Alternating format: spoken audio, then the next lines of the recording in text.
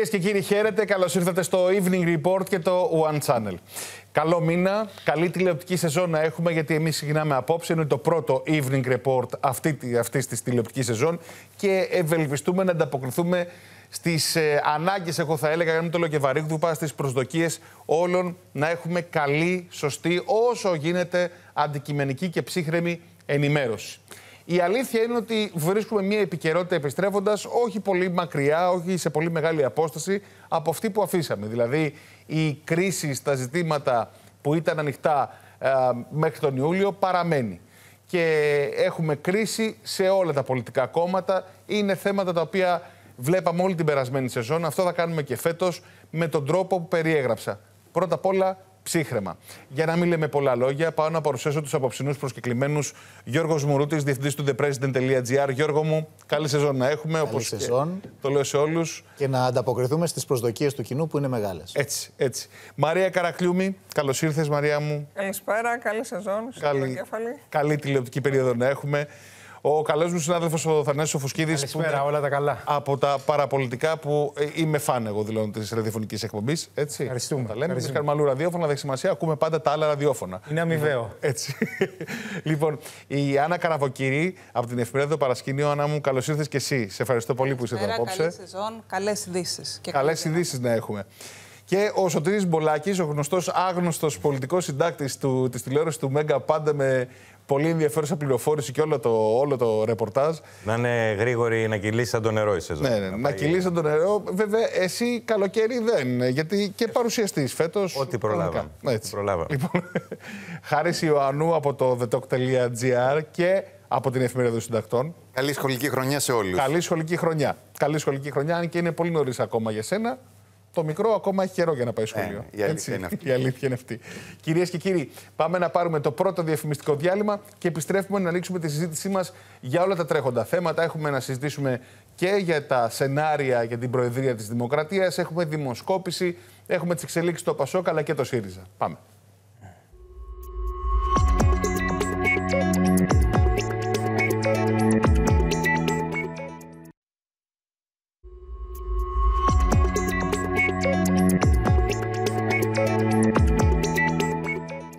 Εδώ είμαστε λοιπόν κυρίες και κύριοι. Πάμε να ανοίξουμε την ε, απόψινή ατζέντα της επικαιρότητας. Έχουμε μία ε, ενδιαφέρουσα δημοσκόπηση. Νομίζω ότι είναι η πρώτη της περίοδου, η πρώτη του Σεπτέμβρη, για να το πω διαφορετικά. Άλλωστε, είμαστε και στην αρχή του μήνα. Είχαμε μία μέσα στον, ε, στον Αύγουστο, αν δεν κάνω λάθος χάρη. Τέλος Αυγούστου. Τέλος Αυγούστου. Και τώρα είναι η πρώτη που έχουμε για τον ε, Σεπτέμβριο από την MRB για λογαριασμό του, του Open. Θα ήθελα να δούμε ε, εδώ ξεκινώντας το γενικό, γιατί έχει ενδιαφέρον αυτή η δημοσκόπηση, θα τη δούμε και αργότερα για το Πασόκ, έτσι. Αλλά θα ήθελα να δούμε πρώτα απ' όλα τα, τα γενικά, την πρόθεση ψήφου για τις βουλευτικές εκλογές και ε, να μην σας ταλαιπωρώ εγώ, ο λόγος στην κυρία Καρακλιούμη. και να λοιπόν, τα δούμε και να αναλύσουμε. Νέα Δημοκρατία 21,6%, ΣΥΡΙΖΑ 8,5%, ΠΑΣΟΚ 10,5%, 7,3% το ΚΚΕ, Ελληνική Λύση 8%, 5,3% Πλεύση Ελευθερίας, 2,9% η Νίκη, 2,2% είναι αριστερά, 3,4% η Φωνή Λογικής, 2,3% ημέρα 25, 5,8 άλλα μικρότερα κόμματα τα οποία αφού δεν έχουν πάρει πάνω από 1% δεν αναφέρονται διακριτά.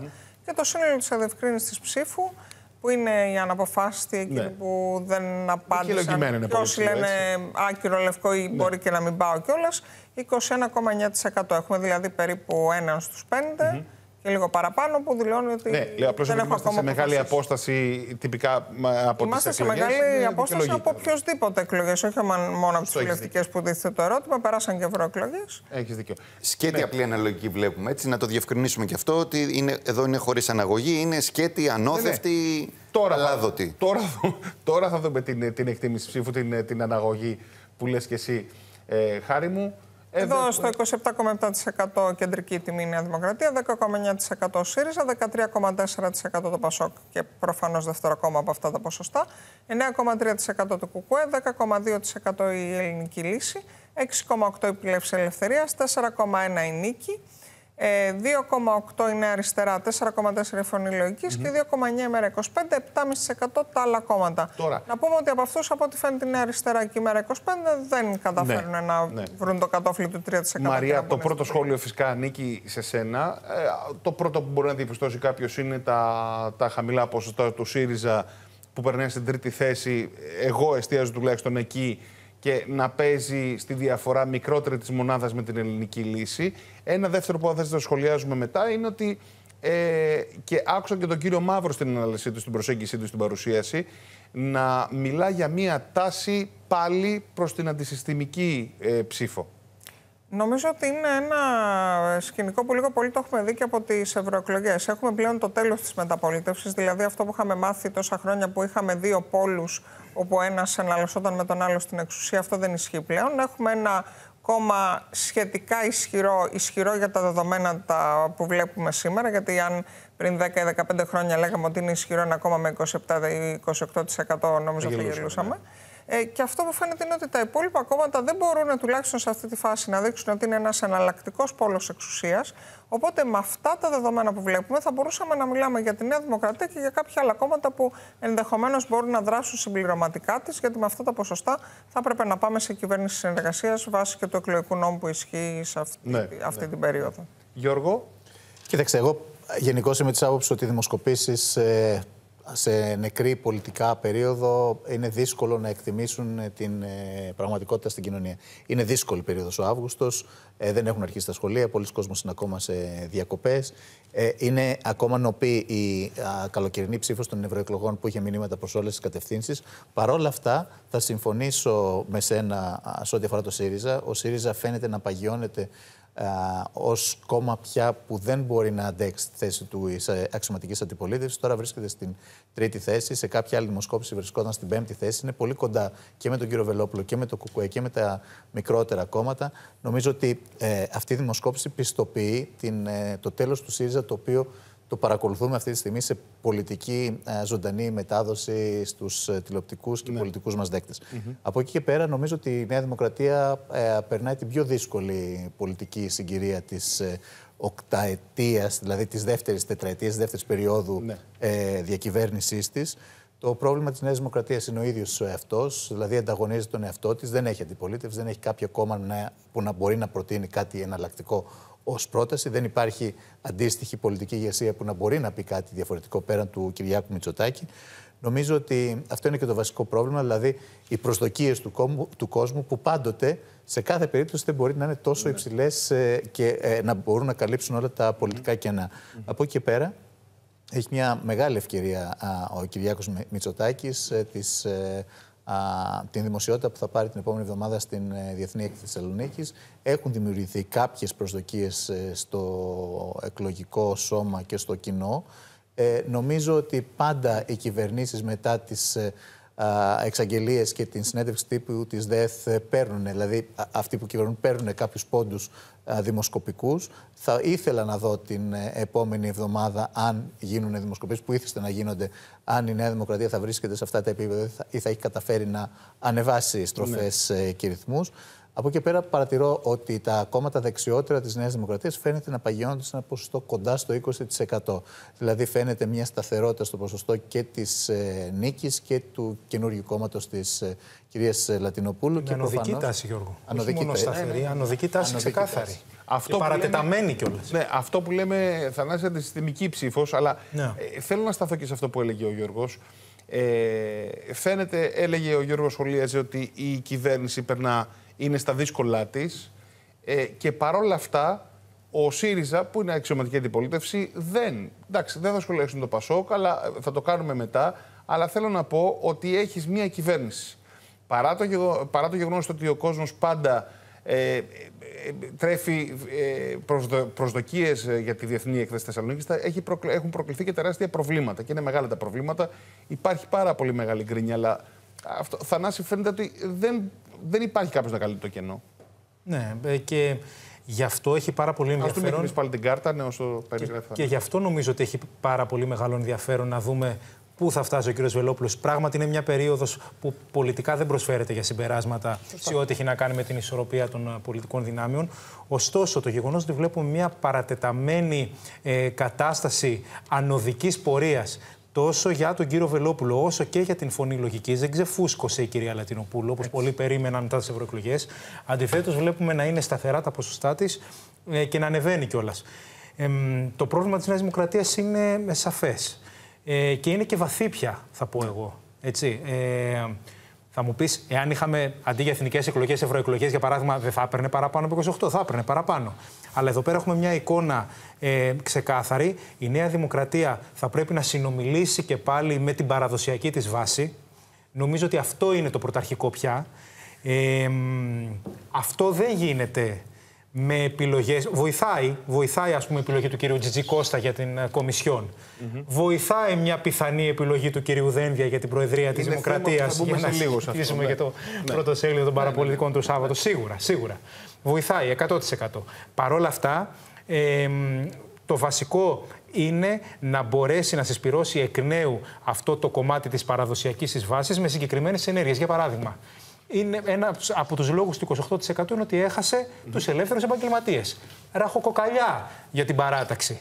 Ε, δεν θα γυρίσουν αυτοί με κανένα δένδια και με κανέναν ε, ε, τζιτζικώστα. Θα γυρίσουν με συγκεκριμένες προτάσεις και πρωτοβουλίες στο κομμάτι της φορολογίας ναι. που ε, είχε σημάδια δικίας για αυτούς. Επειδή βάζεις την εξίσωση κοινωνικό θέμα και έχεις απόλυτο ναι. δίκιο. Πολύ καλά κάνεις. Αγρότες ότι... επίσης. Ναι, ναι, ναι. Αγρότες η Νέα Δημοκρατία. Αγρότες το 2023 είχε στο 50 κοντά. Εγώ θέλω Ήταν να πω 25. Αυτό που κατέγραψα φέτος ρεπορταζιακά ε, στην Έγινα, μιλάω για δύο τόπους, ναι. την Έγινα και τη Σαντορίνη, για τον τουρισμό που συνήθως ε, η κάθε κυβέρνηση χρησιμοποιεί τις αφήξεις ως success story και δεν είναι η αφήξη το success story. Τα πράγματα δεν ήταν καλά. Δεν ήταν καλά στο ζήτα της μηχανής στο κλείσιμο της ημέρας και υπάρχει πάρα πολύ μεγάλη γκρίνια έτσι, στους επιχειρηματίες, στους ανθρώπους που ασχολούνται με, το, με τον τουρισμό. Τώρα δεν ξέρω αν φταίνε οι επιχειρηματίε ή αν φταίει η κυβέρνηση. Πάντως εδώ φαίνεται τα πράγματα φέτος να μην πήγαν καλά και αυτό δημιουργεί ακόμα μεγαλύτερη γκρίνια. Οι γνωρίζοντε λένε ότι χάσαμε τον καλό τουρισμό. Τον τουρισμό που ξοδεύει. Έτσι. Επί της ουσίας είχαμε αφήξεις, αλλά δεν ήταν της ίδιας οικονομικής εμβέλειας σε σχέση με το παρελθόν. Ναι. Σε αυτό βέβαια mm-hmm. έχει την ευθύνη της εκάστοτε κυβέρνηση, αλλά έχει την ευθύνη και ο ίδιος ο κλάδος του τουρισμού. Έτσι. έτσι. Για τον τρόπο που αντιμετώπισε τους ανθρώπους που ήρθαν με χρήματα μετά τον κορονοϊό. Ναι, μια τέτοια κουβέντα δεν έγινε όμως ποτέ τι τουριστικό Όχι. προϊόν θέλουμε, ναι. γιατί ναι, μένουμε σε έναν αριθμό αφήξεων, mm-hmm. ο οποίος ε, ελέγχεται, αν θέλετε, και μαθηματικά και στατιστικά πώς αυτός ο αριθμός υπολογίζεται. Και ποτέ δεν είπαμε ότι οι αθρώες αφήξεις που δεν αφήνουν χρήματα και είναι ένας τουρισμός που απλά θα κάνει κάποιο τζίρο, σου δημιουργεί θέματα στις υποδομές. Mm-hmm. Γιατί είδαμε φέτος για πρώτη φορά νησιά χωρίς νερά με πρόβλημα στις υποδομές. Γιατί πάντως, ο σχεδιασμός είναι άλλος. Οφείλω να σας πω πέρα της πολιτικής ανάλυσης, στο, στο κοινωνικό ρεπορτάζ, το, το δικό μου πεδίο και στην Έγινα και στη Σαντορίνη.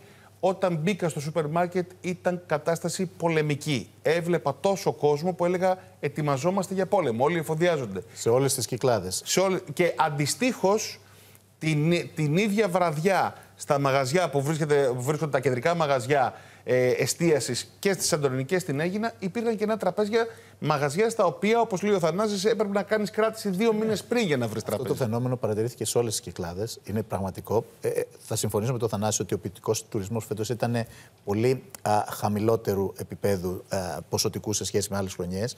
Έλειψε ο αμερικανικός τουρισμός σε σχέση με άλλες χρονιές. Έλειψε ο, ο εβραϊκός ε, τουρισμός. Ε, πριν την mm. κρίση ήταν το καλύτερο, το πιο ποιοτικό κομμάτι. Και ε, τα τελευταία χρόνια λείπει και ο ρωσικός ε, τουρισμός και ο ουκρανικός τουρισμός, ναι. που ήταν αιμοδότη της ε, Βορείου Ελλάδα. Όμως, από εκεί και πέρα, έχει δίκιο η Μαρία ότι θα έπρεπε να γίνει ένας συνολικός ε, σχεδιασμός. Δεν είναι δυνατόν δηλαδή νησιά να μην έχουν νερό, για παράδειγμα, και για τους κατοίκους τους και για τους τουρίστες να μπορούν να τροφοδοτήσουν. Έχει και μια άλλη βασική παράμετρος. Η βασικότερη παράμετρος, μιας και συζητάμε για τουρισμό, είναι ότι τα ακτοπλοϊκά εισιτήρια εκτινάχθηκαν στο ύψη. Είχαμε αυξήσεις πάνω από 50% ναι. σε κάποιες περιπτώσεις. Ναι. Το οποίο είναι τραγικό. Και δεν είναι μόνο Πειραιά, Νάξος, Πειραιά, οπουδήποτε. Ήταν και ενδοκυκλαδικές. Ναι, ναι, ναι. ναι, ναι. Εκεί δεν ήταν ασύλληπτα τα κόστη να πας από την Πάρο στο διπλανό νησί που είναι 10 λεπτά ναι, ναι, ναι, ναι. απόσταση και να δίνεις 90 ε, ευρώ για παράδειγμα. Είναι τρομερά πράγματα αυτά. Αυτά αποθαρρύναν πολύ κόσμο. Και πού είδαν αυτό που λες εσύ το ζήτα στο τέλος της ημέρας, τα ενοικιαζόμενα δωμάτια, δηλαδή μικρομεσαίες επιχειρήσεις τουριστικές, εστιατόρια, τα οποία τι είδανε, είδανε το κλίμα της ακρίβειας να τους επηρεάζει, να μην μπορούν να συγκρατήσουν τιμές, Ναι. γιατί είναι η σεζόν που θα δουλέψουν. Και ταυτόχρονα ο κόσμος να είναι που έρχεται ο τουρίστας ή ο, ο ντόπιος, στο τέλος της ημέρα να μην πάει στα νησιά. Γιατί αυτά τα ειστήρια αποθαρρύνουν κόσμο. Δεν ήταν στο 100% οι κρατήσεις. Α, τι- τι- ε, το, το λέγαμε. Όπως άλλες χρονιές. Ναι, αλλά λέγαμε ακόμα στο και αυτοί τρίμηνο. που ήρθαν απευθείας με πτήσεις προς Αυτοί είναι διαχρονικά, δεν αφήνουν Ναι, ναι, παιδιά ναι. λεφτά. Είχαν Αυτό το all είναι- inclusive αυτό φέτος. ακριβώς. Ξέρεις τι γίνεται; Δεν του αφήσαν να ξεμητήσουν. Μερικές φορές τα μονοπόλια λειτουργούν και Αυτή είναι η τέτοιε ιστορία. συνθήκες. Δηλαδή, στα, στα αεροπορικά εισιτήρια όπου υπάρχει ανταγωνισμός, για παράδειγμα, για να πας κυκλάδε, εμένα η οικογένειά μου ταξίδεψε αεροπορικά ε, για κυκλάδες για τη Σαντορίνη και εγώ πήγα μόνος με το αυτοκίνητο με το καράβι γιατί έπρεπε να κουβαλήσω. Εγώ πλήρωσα ένα άτομο με το αυτοκίνητο 380 κάτι ευρώ, ένα άτομο με το αυτοκίνητο και η υπόλοιπη οικογένειά μου με 500 ευρώ, ε, πέντε άτομα τώρα λέω έτσι, ε, πήγαινε έλα Σαντορίνη, αεροπορικά. Και πολύ σωστά. Αυτό συμβαίνει βέβαια όταν ακριβένεις υπέρμετρα το προϊόν χωρίς να το βελτιώνεις. Έτσι. Προφανώς. Δηλαδή δεν είναι μόνο και τα μονοπόλια ή τα ολιγοπόλια. Ναι, γιατί να δούμε και Είναι ποια ό- ήταν η ποιότητα των Όταν έχεις πάει αγροτοπλοϊκών 10 ευρώ τη συγκοινωνιών. χωριάτικη, δηλαδή μισό αγκούρι και μια ντομάτα 10 ευρώ, έτσι. Όταν δεν υπάρχουν στις κυκλάδες δωμάτιο δίκλινο κάτω από 100 ευρώ. Λοιπόν, όταν χρεώνουν κάτι εξαπλώστρε πάνω στη θάλασσα 20 και 30 ευρώ χωρίς να έχεις πάρει ούτε ένα Μήνυμο. καφέ. Πόσο λες, 20 και 30. 30 δεν υπάρχει. 50 σε άλλες περιοχέ. Αυτά, αυτά είναι στην άγωνη. Στη Λούτσα μπορεί να είναι αυτό με, με, κα- Όλα με αυτά- όλη τη συμπαθιά μας προς τη Όλα αυτά, όλα αυτά είναι από Όχι, εγώ βρήκα η αλήθεια είναι σε παλιό στέκι στη Σαντορίνη, εκεί που δεν πληρώναμε παλιά τίποτα. Μου είπαν στην πρώτη σειρά 30, στην από πίσω 20. Αυτό, λέγεται, αυτό λέγεται διατίμηση. Ε, ναι, προφανώς. Προφανώς. Ναι, μα Λοιπόν, τώρα είναι σοβαρό τώρα αυτό όταν έχεις τον τουρισμό βαριά βιομηχανία τώρα να. Ε, πάντως η αλήθεια είναι ότι μάλλον έχουμε μείνει ε, στην αντιμετώπιση του τουριστικού προϊόντος την προχειρότητα με την οποία το αντιμετωπίζαμε ε, επί των παχαίων αγελάδων όταν... Και, και φταίει και ο ίδιος ο κλάδος, παιδιά. Ε, συμφωνώ. Πρέπει να επιμείνουμε σε αυτό. Και τα πράγματα Δηλαδή, έχουν αλλάξει Για να και- μην. ε, Συμφωνώ και εγώ Θα απόλυτα. συμφωνήσω με Οι τον Θανάση. υπηρεσίες επειδή θέλουν ένα Κάλυπτα συγκεκριμένη κατάρτιση. τουριστικό ρεπορτάζ. Ναι, ναι, ναι. Στην εποχή που συζητούσαμε ως πειραϊκό τότε συντάκτης και το καμποτάζ στην άρση του.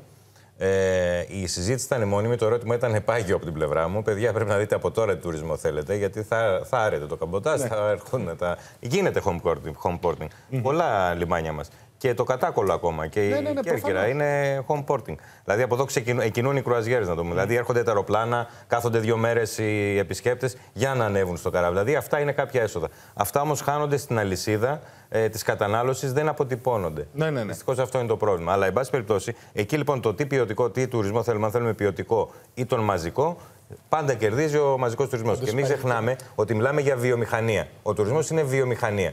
Όπου ακούμε βιομηχανία, πρέπει να βάλουμε και μια αλυσίδα ε, οικονομίας γύρω-γύρω, όπου στο τέλος θα την πληρώσουν αυτοί που παράγουν σε, αυτό το, Πάντως σε αυτή οι, τη οι βιομηχανία. κυκλάδες έχουν αυτό το προνόμιο εδώ και πάρα πολλά χρόνια να πατάνε σε δύο βάρκες. Να προσφέρουν και αυτό που λέμε premium προϊόν, να απευθύνονται σε ακριβό τουρισμό, να απευθύνονται και στο μέσο τουρισμό. Αυτή ήταν η, η μεγάλη εικόνα. Αλλά του- όλα γίναν premium πια σε Υπάρχει- Ακριβώς, Υπάρχει, υπάρχει ακριβώς. και μια παγκόσμια κουβέντα για τον υπερτουρισμό. Δηλαδή, Ναι. ένας τουρίστας που πάει να απολαύσει από, το, από την άκρη του κόσμου τις κυκλάδες, τελικά αυτό που απολαμβάνει είναι, Αυτή είναι η βιομηχανία. είναι η βιομηχανία που τελικά δεν απολαμβάνει τουριστικό προϊόν. Και Αυτή δεν είναι, είναι η μόνο βιομηχανία. ευθύνη των mm καταστηματαρχών ή των επαγγελματιών, είναι ευθύνη συνολικά ε, του τουριστικού προϊόντος Ναι, ναι, το ναι, οποίο ναι, παρέχει. προφανώς. Εξαιτίας και αυτής της βιομηχανίας, τώρα Και για άλλες να, χώρες. για να είμαστε συντονισμένοι, και τα μεροκάματα είναι χαμηλά και οι... Ναι. εδώ εμείς, όπως και στην ε, Ισπανία, για παράδειγμα, που υπάρχουν τα κινήματα, δεν υπάρχουν ούτε καταλήμματα να κάνεις τις διακοπές, αλλά ούτε και μόνιμη κατοικία. Γιατί το Airbnb πια είναι γι' αυτό το λόγο. Ναι, ναι, ναι, ναι, ναι. Απλώς Επομένως, φτάνουν όλα στο Θεό, στα τα Ε, ενίκια στο εγώ Θεό. μένω σε αυτό που είπε αρχικά ο Θανάσης ότι έπρεπε να ξεκινήσει η κουβέντα ή και σε αυτό που είπε η Μαρία ότι έπρεπε να γίνει αυτή η κουβέντα γιατί δυστυχώς έχουμε μπει και στα χρόνια, νομίζω ότι είναι η πρώτη ή δεύτερη χρονιά που στα social media υπάρχουν και διαμαρτυρίες από ξένους τουρίστες πια για το τουριστικό προϊόν της Ελλάδας. Έτσι. Ε, Και να δούμε και ποιο είναι και το τουριστικό Μάλιστα. αποτύπωμα, Ναι, το Για περιβαλλοντικό πάμε λοιπόν αποτύπωμα να κάθε συνεχίσουμε φορά. το, με το πολιτικό. Φύγαμε, αλλά καλά κάναμε νομίζω, γιατί αφορά σε πολύ κόσμο. Άννα, το σχόλιο σου για, την, για τη δημοσκόπηση και το κομμάτι αυτό που Για τη, καταγράφεται. για τη δημοσκόπηση που είδαμε, θεωρώ ότι η Νέα Δημοκρατία συγκρατεί τις δυνάμεις της. Βέβαια, σε ένα κενό πολιτικό χρόνο, έχει τα ίδια ποσοστά που είχε και στις ευρωεκλογές. Ε, δεν φαίνεται να έχει καταγραφεί μια δυσαρέσκεια πολύ μεγάλη όσον αφορά την ακρίβεια και όπως είπαμε και λίγο πριν για τα εκτοπλοϊκά εισιτήρια και για τον τουρισμό ε, και δεν έχει καταγραφεί και μια δυσαρέσκεια για τις φωτιές στη βορειοανατολική Αττική. Αυτό βέβαια θα το δούμε το επόμενο διάστημα εφόσον έχει γίνει συζήτηση στη Βουλή ε, για τις πυρκαγιές που αναμένεται αυτό το μήνα ε, και μετά τη ΔΕΘ θα έχουμε μια καλύτερη εικόνα. Σωτήρη. Εγώ, αν μπορούμε να δείξουμε και την πρόθεση ψήφου, να Ναι. παρατηρήσω κάτι, να κάνω κάποιες παρατηρήσεις. Την πρώτη κάρτα. Ναι. Ναι, η πρόθεση ψήφου δείχνει κάτι το οποίο το συναντάμε αυτή την ώρα ξανά και είναι η δεύτερη παρατήρηση στον καταλληλότερο για πρωθυπουργό. Δηλαδή, η Νέα Δημοκρατία έχει χαμηλότερο ποσοστό, οριακά μεν, από τους αναποφάσει του. Αντίστοιχα, ε, και γιατί το λέω αυτό, αντίστοιχα και ο κ. Μητσοτάκης στι τελευταίες δημοσκοπήσεις, ήδη και από το καλοκαίρι, εμφαινόταν να χάνει από τον κανένα, εκεί που δεν έχανε από κανέναν. Ε, αυτό τι δείχνει ότι όλη αυτή η δεξαμενή των αποφάσεων γιγαντώνεται, αλλά δεν καρπώνεται τίποτα, και αυτή είναι η τρίτη μου παρατήρηση, κανένα από τα δύο κόμματα εξουσίας. ναι. ναι, ναι Ε, το ξεκάθαρα. Πασόκ είναι σε. Επιβεβαιώνεται επίσης τέταρτη παρατήρηση η προηγούμενη δημοσκόπηση που είχε βγει. Γιατί είχαμε αμφιβολίες πόσο νωρίς βγαίνει. Ναι. Φαίνεται ότι εδώ το ποσοστό, ειδικά του ΣΥΡΙΖΑ, είναι το ίδιο. Είναι 8,5-8,3 είχε δώσει η προηγούμενη. Το Πασόκ παραμένει σε αυτή, αν το δούμε στο διαχρονικό του, σε αυτή την ε, οριζόντια γραμμή, την κομματώδη, ας πούμε. Δεν παίρνει, δεν χάνει, είναι μπετό. Να Παρότι... αποκατεβαίνουν οι άλλοι γύρω του. Ακριβώς. Παρότι βρίσκεται σε εκλογική διαδικασία και βλέπουμε επίσης το πιο κερδισμένο, κατά τη γνώμη μου, την πλεύση ελευθερίας. Δηλαδή, η πλεύση ελευθερίας εκτιμώ ότι τραβάει από τον ε, ΣΥΡΙΖΑ. Έχεις δίκιο σε αυτό που λες. Ε, Αλλά να πω μια και κάτι άλλο, πολυαίσθηση. Σωτήρη. Νομίζω ότι η, η διαμόρφωση της εικόνας, του χάρτη έτσι όπως φαίνεται τώρα, δίνει ένα μεγαλύτερο βάρος στην εκλογική διαδικασία του Πασόκ. Ναι. Έτσι δεν είναι, δηλαδή. Μεγαλύτερη ευθύνη. Μεγαλύτερη ευθύνη ότι α, αυτός ο οποίος θα εκλεγεί στο Πασόκ είναι πιο κοντά σε αυτό που λέμε ενδυνάμει πρωθυπουργός. Να το πω και διαφορετικά, συμφωνώ. Ε, απλά είναι απέχει ακόμα το ποσοστό. Αυτό το δημοσκοπικό δεν δίνει τέτοιο αέρα. Θεωρώ ότι στο Πασόκ, μόλις αρχίσει πια να μπαίνει στα γεμάτα η εκλογική διαδικασία και εκεί, ε, αν καταφέρουν να προσπεράσουν το ενδιαφέρον που δεν έχει να κάνει με αγωνία για το χώρο, αλλά περισσότερο με περιέργεια για το τι γίνεται στο ΣΥΡΙΖΑ, αν καταφέρουν να υπερκεράσουν αυτή την, ε, την επικοινωνιακή, να το πούμε έτσι, υπεροπλία του ΣΥΡΙΖΑ ακόμα και στα χειρότερά του, γιατί καλύπτει την επικαιρότητα, ε, θεωρώ ότι αν φτάσουμε στις εκλογές, το αποτέλεσμα των εκλογών θα δώσει τη νέα τάση. Μάλιστα. Εκεί νομίζω πια θα μπορούμε να συζητάμε όντως για αυτό που λες. Ε, ο ΣΥΡΙΖΑ παρόλα αυτά ξανά βρίσκεται σε μια φάση εσωστρέφειας. Το έχουμε ξαναδεί αυτό το ποσοστό το μονοψήφιο. Αλλά την τελευταία φορά που το είδαμε ναι. ήταν οριακά μονοψήφιο. Σωστό. Δεν κλείδωνε όπως Ε, τώρα είναι κλειδώνει καθαρό. τώρα με απόσταση από το Τώρα 10 είναι καθαρό. μεγάλη. Έχεις δίκιο. Και στην αναγωγή που είναι μετά, 10 κάτι είναι. Είναι Ναι. νομίζω στα χειρότερά του. Εδώ βλέπουν τι βλέπουν οι ψηφοφόροι. Βλέπουν ε, το κόμμα να μικραίνει στην κοινοβουλευτική ομάδα, να κινδυνεύει να μικρύνει κι άλλο. Τα διασπαστικά φαινόμενα έχουν αρχίσει και γίνονται πραγματικά έντονα. Και αυτή η σύγκρουση που θα έρθει στην ε, Κεντρική Επιτροπή θεωρώ ότι δεν θα βγάλει κερδισμένο κανένα. Για κράτα το, γιατί θα πάμε μετά οπωσδήποτε στο ΣΥΡΙΖΑ να δούμε τι γίνεται. Χάρη. Ε, θα προσπαθήσω να κάνω μια πολύ τηλεγραφική κωδικοποίηση Ναι. αυτών που βλέπουμε. Ε, τρία προβλήματα, δύο διαπιστώσεις. Πρώτο πρόβλημα, το κυβερνών κόμμα είναι πρώτο, αλλά με εξαιρετικά χαμηλά ποσοστά. Δηλαδή, εγώ θα δίνω περισσότερο βάση στην πρόθεση ψήφου. Στην αναγωγή τώρα, αυτή την περίοδο, νομίζω δεν προσφερει ε, κάτι για ε, γενικότερα πολιτικά συμπεράσματα. Η Νέα Δημοκρατία έχει εδώ 22% όσο της έδινε και η interview την προηγούμενη εβδομάδα. Αυτό τώρα για κόμμα εξουσίας που είναι ε, έχει το πολιτικό προβάδισμα στο ελληνικό πολιτικό σύστημα την τελευταία σχεδόν δεκαετία είναι πάρα πολύ αρνητικό.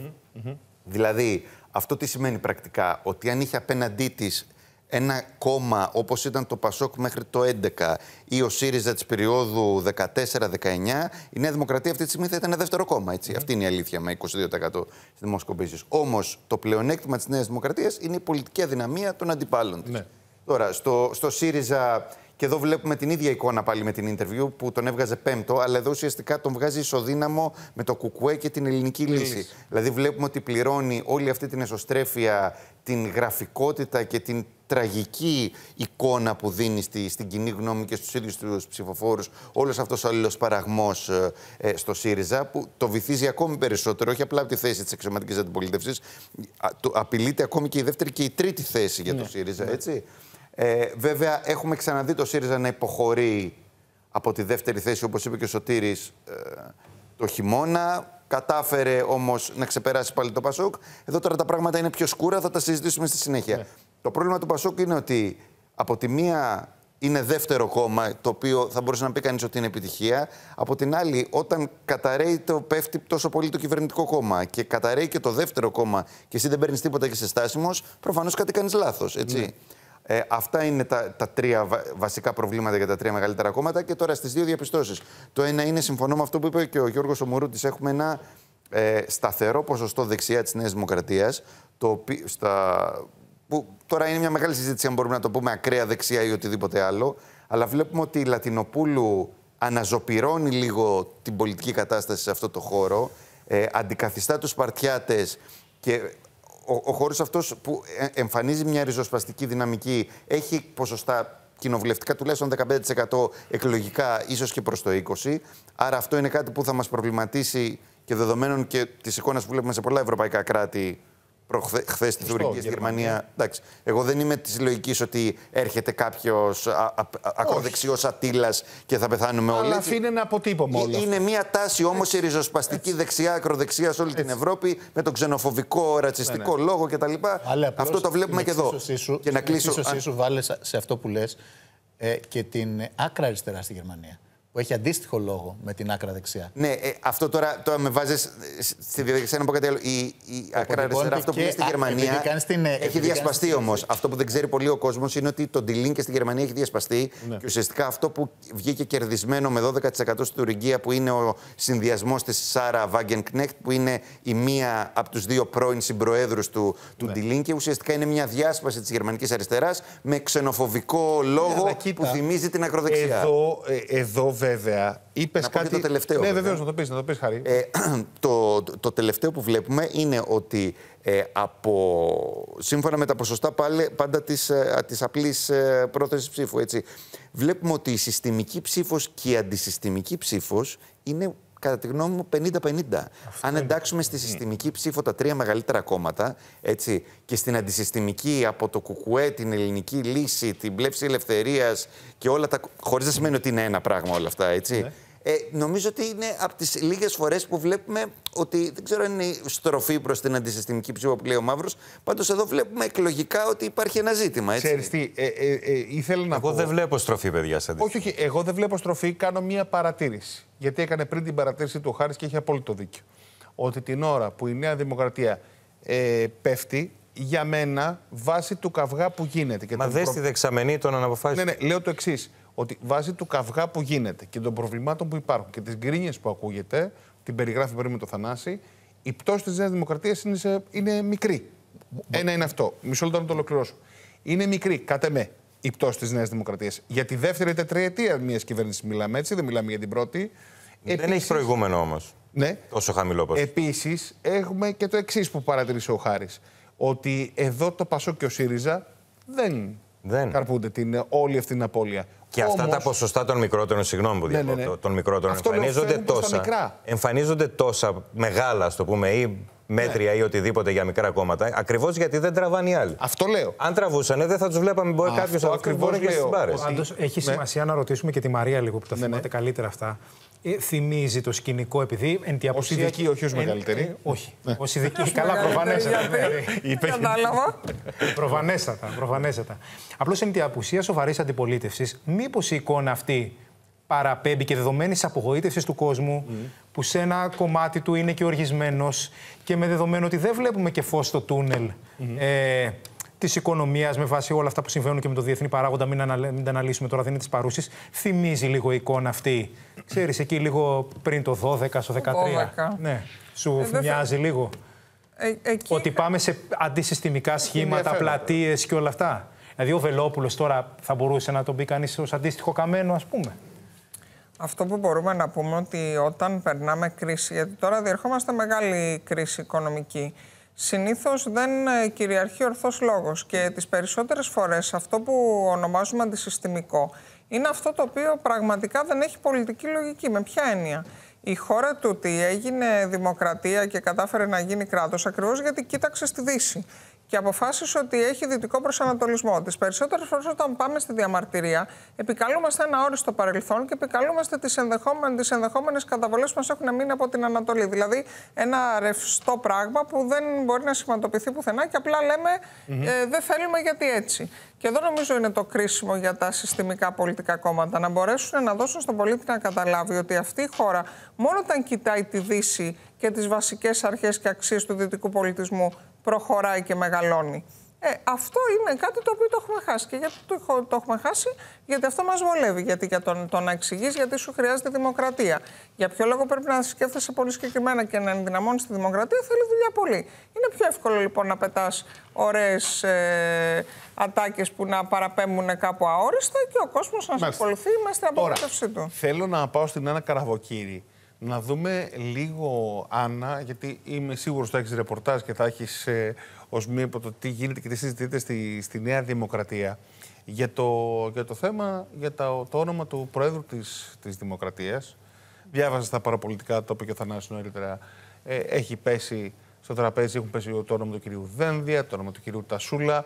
Φαντάζομαι ότι πολλά ονόματα θα ακούσουμε μέχρι να φτάσουμε στην. Έχουμε έξι μήνες καιρό ακόμα. Γι' αυτό λέω, μέχρι να φτάσουμε στην τελική ψηφοφορία θα ακούσουμε πολλά ονόματα και νομίζω ότι εκεί δοκιμάζει και η παράταξη της Νέας Δημοκρατίας τη συνοχή της και τις αντοχές της. Ε, ε, η, η, η, η, λαϊκή δεξιά με τους μητσοτακικούς και όλο αυτό ναι, το κομμάτι. Οι πτέρυγες. Ναι. Λοιπόν, το θέμα για τον επόμενο πρόεδρο της Δημοκρατίας δεν έχει ανοίξει τώρα έχει ανοίξει εδώ και συζητείται εδώ και λίγους Ναι. μήνες. Λοιπόν, σήμερα ο Παύλος Μαρινάκης διέψευσε όλα τα σενάρια που ήθελαν τον Νίκον Δένδια να έχει κλειδώσει. Έχει δεχτεί πρόταση, είπε. Ότι δεν του έχουμε κάνει ακόμα πρόταση, είπε. ναι. Χαρακτηριστικό. Ναι, ναι, Λοιπόν, λοιπόν όμως, το, το προηγούμενο Σαββατοκυριακό Να πω και υπήρχαν... δεν θα μπορούσε να το επιβεβαιώσει. Σε καμία Θεσμικά. περίπτωση. Έτσι. Σε καμία Δεν πρέπει να περίπτωση. το δηλώσει, ναι. Όμως, το Σαββατοκύριακο ε, υπήρχαν ε, στοχευμένα δημοσιεύματα ταυτόχρονα που άνοιγαν αυτό το ζήτημα Ναι. ε, για τον πρόεδρο της Δημοκρατίας. Τυχαίο, δεν νομιζω Και νομίζω ότι είχαν και μία πληροφόρηση και ήταν από στενούς συνεργάτες του Πρωθυπουργού αυτά τα δημοσιεύματα. Λοιπόν, γιατί το Μέγαρο Μαξίμου ανοίγει τώρα αυτή τη συζήτηση; Αρχές Σεπτεμβρίου, γιατί έχει μπροστά του ένα πολύ δύσκολο μήνα. Έχει μια πολύ δύσκολη ΔΕΘ, ο Κυριάκος Μητσοτάκης, που θα πάει με ένα καλάθι αδιανό από παροχές και γεμάτο από μεταρρυθμίσεις. Στη συνέχεια έχει μια συζήτηση στη Βουλή για τις πυρκαγιές στη Βορειοανατολική Αττική, που ακόμα δεν έχουν δοθεί ε, ξεκάθαρες απαντήσεις. Και στο τέλος του μήνα έχει τη συνάντηση με τον Ταγί Περτογάν μέσα σε ένα κλίμα όχι πολύ καλό. Ε, ανοίγει τώρα λοιπόν αυτό το θέμα για την Προεδρία της Δημοκρατίας με σκοπό να κατευνάσει τουλάχιστον τις εσωκομματικές ε, αντιδράσεις που υπήρχαν γιατί ε, οι βουλευτές ε, του είχαν ξεκαθαρίσει ορισμένοι βουλευτές ότι θέλουμε πρόεδρο γαλάζιο και δεν θα δεχτούμε την Κατερίνα Σακελαροπούλου για δεύτερη θητεία. Και ο Κυριάκος Μητσοτάκης είχε αποφασίσει ότι ναι, μαζί θα αποφασίσουμε για τον επόμενο πρόεδρο. Τώρα, ποιον συμφέρει το να πάει και ο Νίκος Δένδιας στην, ε, στην Προεδρία της Δημοκρατίας. Ο, δύο είναι τα ονόματα που έχουν ακουστεί. Ο Νίκος Δένδιας και ο, Κω- ο πρόεδρος της Βουλής, ο Κώστας Τασούλας. Και οι δύο, και τα δύο πρόσωπα αυτά, έχουν ευρύτε, ευρύτατη αποδοχή στη βάση, με μία διαφορά. Ο Νίκος Δένδιας είναι και ο Δελφίνος για την επόμενη μέρα στη Νέα Δημοκρατία. Λοιπόν, σε περίπτωση που κλειδώσει ο Νίκος Δένδιας για την Προεδρία της Δημοκρατίας, μεταμέξω. αυτομάτως ε, έχει απαλλαγεί ο Κυριάκος Μητσοτάκης από ένα δελφίνο και μπορεί την επόμενη μέρα είτε να δώσει δαχτυλίδι είτε να, να αποφασίσει το μέλλον του. Μμ, Μάλιστα. Ναι, Πολύ βέβαια. σημαντικό. Ναι. Εντάξει, Θα πρόκειται, αν συμβεί αυτό το σενάριο, ας πούμε, τώρα γιατί έχει ενδιαφέρον το ρόλο αυτή Ε, η βέβαια. συζήτηση. Δηλαδή, αν υποθέσουμε ότι ο ένας Δελφίνος πήρε μεταγραφή από τη Θεσσαλονίκη για τις Βρυξέλλες Ο της και Κώστας. ο άλλος Δελφίνος συζητείται για να πάρει μεταγραφή από τη Μεσογείο στην Ηρόδο Αττικού, αυτό είναι και ένα δείγμα πολιτικής ανασφάλειας, έτσι. Ναι. Είναι φυ- φυγή προς τα πάνω. Παιδιά, Κανονικά. σημαίνει αυτό Ή Ότι εκτός από αντιπολίτευση κανονική δεν θα υπάρχει και σοκομματική αντιπολίτευση. Προφανώ. Να το κλείσουμε το μαγαζί δηλαδή. Ναι, δεν είναι. αλλά θέλω να πω ότι υπάρχει και το ενδεχόμενο να πέφτουν ονόματα στο, στο τραπέζι για να καούν, όπως λέμε και στο, στο δικό μας το συνάφη, στη δική μας δημοσιογραφική γλώσσα. Πάντως ο Δένδιας είναι. Να, να θυμίσουμε ότι ο Δένδια είναι ο δημοφιλέστερος υπουργός. Σωστό. Είναι ο βουλευτής της Νέας Δημοκρατίας που είχε εκλεγεί με 100.000 σταυρούς. Ο επικρατέστερος Δελφίνος, γιατί δεν από το το λες, πες το, δεύτερο. Νίκολας, Ναι, πες το. και Το νούμερο είναι αδιαφιλονίκη αυτό. το φαβορή Πρώτο. ως γνήσιο τέκνο της ε, λαϊκής δεξιάς.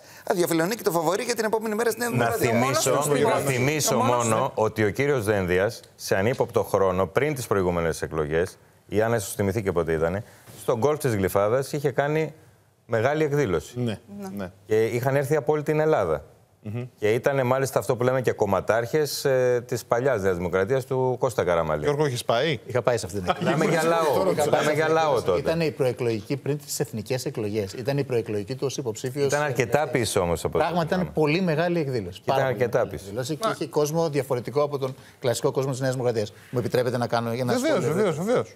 Ε, για μένα, και επιτρέψτε να μου μιλήσω και λίγο πιο θεσμικά, Ναι. σημασία. Δεν έχει το εσωτερικό ε, ε, πεδίο για έναν πρόεδρο της Δημοκρατίας. Ο πρόεδρος της Δημοκρατίας πρέπει να έχει ε, χαρακτηριστικά πέραν του κόμματός του. Πρέπει να εκφράζει και άλλες πολιτικές δυνάμεις πέραν της παράταξης που συνήθως κυβερνά, προκειμένου να είναι το θεσμικό αντίβαρο μιας ε, κοινωνίας. Έτσι έχουν λειτουργήσει όλοι οι πολιτικοί. Δεν θα πω πάντως αν τα έχει τα χαρακτηριστικά. Ε, Δεν- τα έχει ο Ε, κύριος ε, Δένδιας. τα έχει, Επιτρέψτε- φυσικά. Επιτρέψτε μου να βάλω το. το, το Ναι, ναι, ναι. έχει Έχει να το βάλουμε. αδιαφυσβήτητα, νομίζω. Εγώ θα διαφωνήσω. Ότι Και τα να, έχει. και να βάλουμε, και να βάλουμε στη, στη ζυγαριά ε, τα πρόσωπα τα οποία ακούγονται. Ναι. Εγώ ο, κατασκευαστικά πιστεύω ότι αυτό πρέπει να είναι το χαρακτηριστικά ενός ε, Προέδρου. Συμφωνούμε. Ε, ε, προκειμένου να μπορεί να εκφράσει και δυνάμεις πέραν του κόμματος που κυβερνά και να, κατά την άποψή μου επίσης πρέπει να είναι και πολιτικό πρόσωπο, γιατί τα δύσκολα για τη χώρα είναι μπροστά. Αν τα έχει τα χαρακτηριστικά αυτά ο κύριος Δένδιας, αυτό είναι ένα προ διερεύνηση ζήτημα το οποίο ε, το συζητάμε. Θα φανεί στη Βουλή αν θα ψηφίσουν υπέρ ή κατά τα άλλα κόμματα. Σίγουρα τα χαρακτηριστικά εντός του κόμματός του τα έχει. Είναι πολύ δημοφιλής, έχει μεγάλη ε, αποδοχή από τους Κλείνει και τα στόματα στις άλλες. Θα διαφωνήσω με τον ε, Χάρη ότι είναι λαϊκή δεξιά. Δεν Ο είναι λαϊκή Δένδιας δεξιά. Συμφωνώ προέρχεται και εγώ από σε τη αυτό. φιλελεύθερη πτέρυγα της Νέας Δημοκρατίας. Ναι, αλλά πείτε μου, γιατί έχει τη Αλλά σημασία κατά το αυτό την για το οποίο η άποψη- Άννα. κατά την Κλείνει άποψή τα μου, στόματα των. Δεν θα ε, μπορούσε κανείς, ούτε ο Κώστας Καραμαλής Ναι. που τον είχε υπουργό Α, του, μπράβο. περίεπτα υπουργεία, ούτε ο Αντώνης Σαμαράς που τον είχε επίσης υπουργό του σε περίεπτα υπουργεία. Έστω και αν οι σχέσεις δεν είναι και οι καλύτερες δυνατές ναι. εδώ και αρκετά χρόνια. Ε, δεν πολιτικά δεν έχουν 158 πολιτικά όμως θα τον ανάστηση. Ψηφίσουν. Δεν έχουν Τα το, υπόλοιπα το, κόμματα- κίνητρο, το κίνητρο για να ρωτήσω για εγώ κάτι. έχουν Από το αντίθεση στο- κοινοβουλευτικό πεδίο, ποιοι, ποιοι έχουν μεγαλύτερη εμβέλεια πολιτική; Εγώ θα πω από όλες τις παρατάξεις αυτή τη στιγμή από τον κύριο Νίκο Δένδια. Για να δούμε εάν καταρχήν. Δεν είναι ανάγκη να κουτάκι να ενδεχομένως μας κάνει. όπως- Δεν είναι ανάγκη να είναι Ενδεχομένως, όπως επιλεκτική. Εγώ λέω από το Ζούλας. κοινοβουλευτικό Η πεδίο. κυρία Σαγκελαροπούλου δεν ήταν κοινοβουλευτική. Ναι, και ήταν από τους λόγους. Ναι, αλλά Εγώ- εγώ- αμφισβητήθηκε ιδιαίτερα. Μην, μην, ξεχνά, Και να από μην το ξεχνάμε το εσωτερικό της εξής. Δημοκρατίας. Έχουν αλλάξει τα δεδομένα. Δηλαδή, ο κύριος Μητσοτάκης, να τα, να τα λέμε τώρα χύμα και τσουβολάτα. Τα λέμε- μιλάμε στα ράτα που λέμε. Ο κύριος Μητσοτάκης είναι στριμωγμένος για την επιλογή Προέδρου της της, της Δημοκρατίας. Ερώτηση. Σε αυτό Δεν που μπορεί, λες όμως. συγγνώμη, δεν μπορεί να είναι έξω κοινοβουλευτικό αυτός, κατά την άποψή μου. Ερώτηση σε αυτό Πρέπει που λες. να φέρνει την ισορροπία και να κλείσει και τα στόματα αυτών που γκρινιάζουν. στη Έχεις Νέα δίκιο. Δημοκρατία. Έχεις Ναι. δίκιο. Γκρινιάζουν όμως μόνο στη Νέα Δημοκρατία. Ερώτηση. Α πούμε ότι είναι ο κύριος Δένδιας υποψήφιος και παίρνει 158 ψήφους από τη Νέα Δημοκρατία. Τι είναι πιο, ποιος είναι πιο ισχυρός πρόεδρος της Δημοκρατίας, Ένας πρόεδρος που θα έχει 158 ψήφους του κόμματος που κυβερνά, ή μία πρόεδρος όπως η Σακελαροπούλου με 270. Λέω. Δεν, δεν μπορώ να σου απαντήσω. Θα Πάνω- συμφωνήσω πάνω με τον σε- Γιώργο, γιατί σε αυτή και τη επιτρέψτε δοσμένη μου- στιγμή Τώρα- δεν έχει και ισχυρή αντιπολίτευση. Παιδιά μου λέτε κάτι άλλο. Του τώρα. βάλει Μου εμπόδια. λέτε κάτι άλλο. Για- Θα σας θυμίσω την απάντηση αυτή σε, σε παρεμφερές ερώτημα τη δίνει ο Κυριάκος Μητσοτάκης για άλλο ερώτημα. Που όταν του λένε έχεις αφήσει απ' έξω την, ε, κλα- ε, την παραδοσιακή Νέα Δημοκρατία και έχεις βάλει όλο το Πασόκ μέσα κτλ. Τι απαντά ο Κυριάκο Μητσοτάκης, παιδιά, εγώ έτσι σας έφερα το 41%. Ναι, Αυτό δεν απαντάει. Λε- Θέλω να πω ότι ναι, μεν η κυρία Σεκελεροπούλου θέλουμε τον επόμενο πρόεδρο της Δημοκρατίας μάλλον να είναι με 200-250 ψήφους και όλο το υπόλοιπο, αλλά δεν ικανοποιεί. Βάλτε και άλλη μία, Κοίτα. παράγα... Το βάλτε, 41 βάλτε είναι και 22 μία στα παράμετρο Γκάλωπ, ακόμα έτσι. τελευταία που έχει να κάνει, δεν έχει να κάνει μόνο με τα εσωτερικά, έχει να κάνει και με τα εθνικά. Η κυβέρνηση θα έχει να διαχειριστεί μπροστά πάρα πάρα πολύ σημαντικά ζητήματα όπως την ένταση στα λειτουργικά, την όξυση των σχέσεων, τους Αυτό ήθελα να αποκλεισμούς, πω. Γιατί να τους χάσει η πολέμους στην κυβέρνηση ένα περιοχή. τέτοιο υπουργό; Και Αυτό μισό είναι ένα λεπτό, ερώτημα. Μισό λεπτό. Ο, ο Μητσοτάκης θα θέλει, είναι υπουργός ο X εξωτερικών Μητσοτάκης θα τώρα, θέλει κύριε Κωνσταντινίδη. ως πρόεδρος Δημοκρατίας μια προσωπικότητα που να μπορεί να έχει διεθνές εκτόπισμα και να μπορεί να ανταποκριθεί σε αυτό το ρόλο. Είτε είναι από το κόμμα του, είτε είναι εκτός κόμματος. Έχει πλέον ο πρόεδρος Ο τη Δημοκρατίας Δένδιας τέτοιο.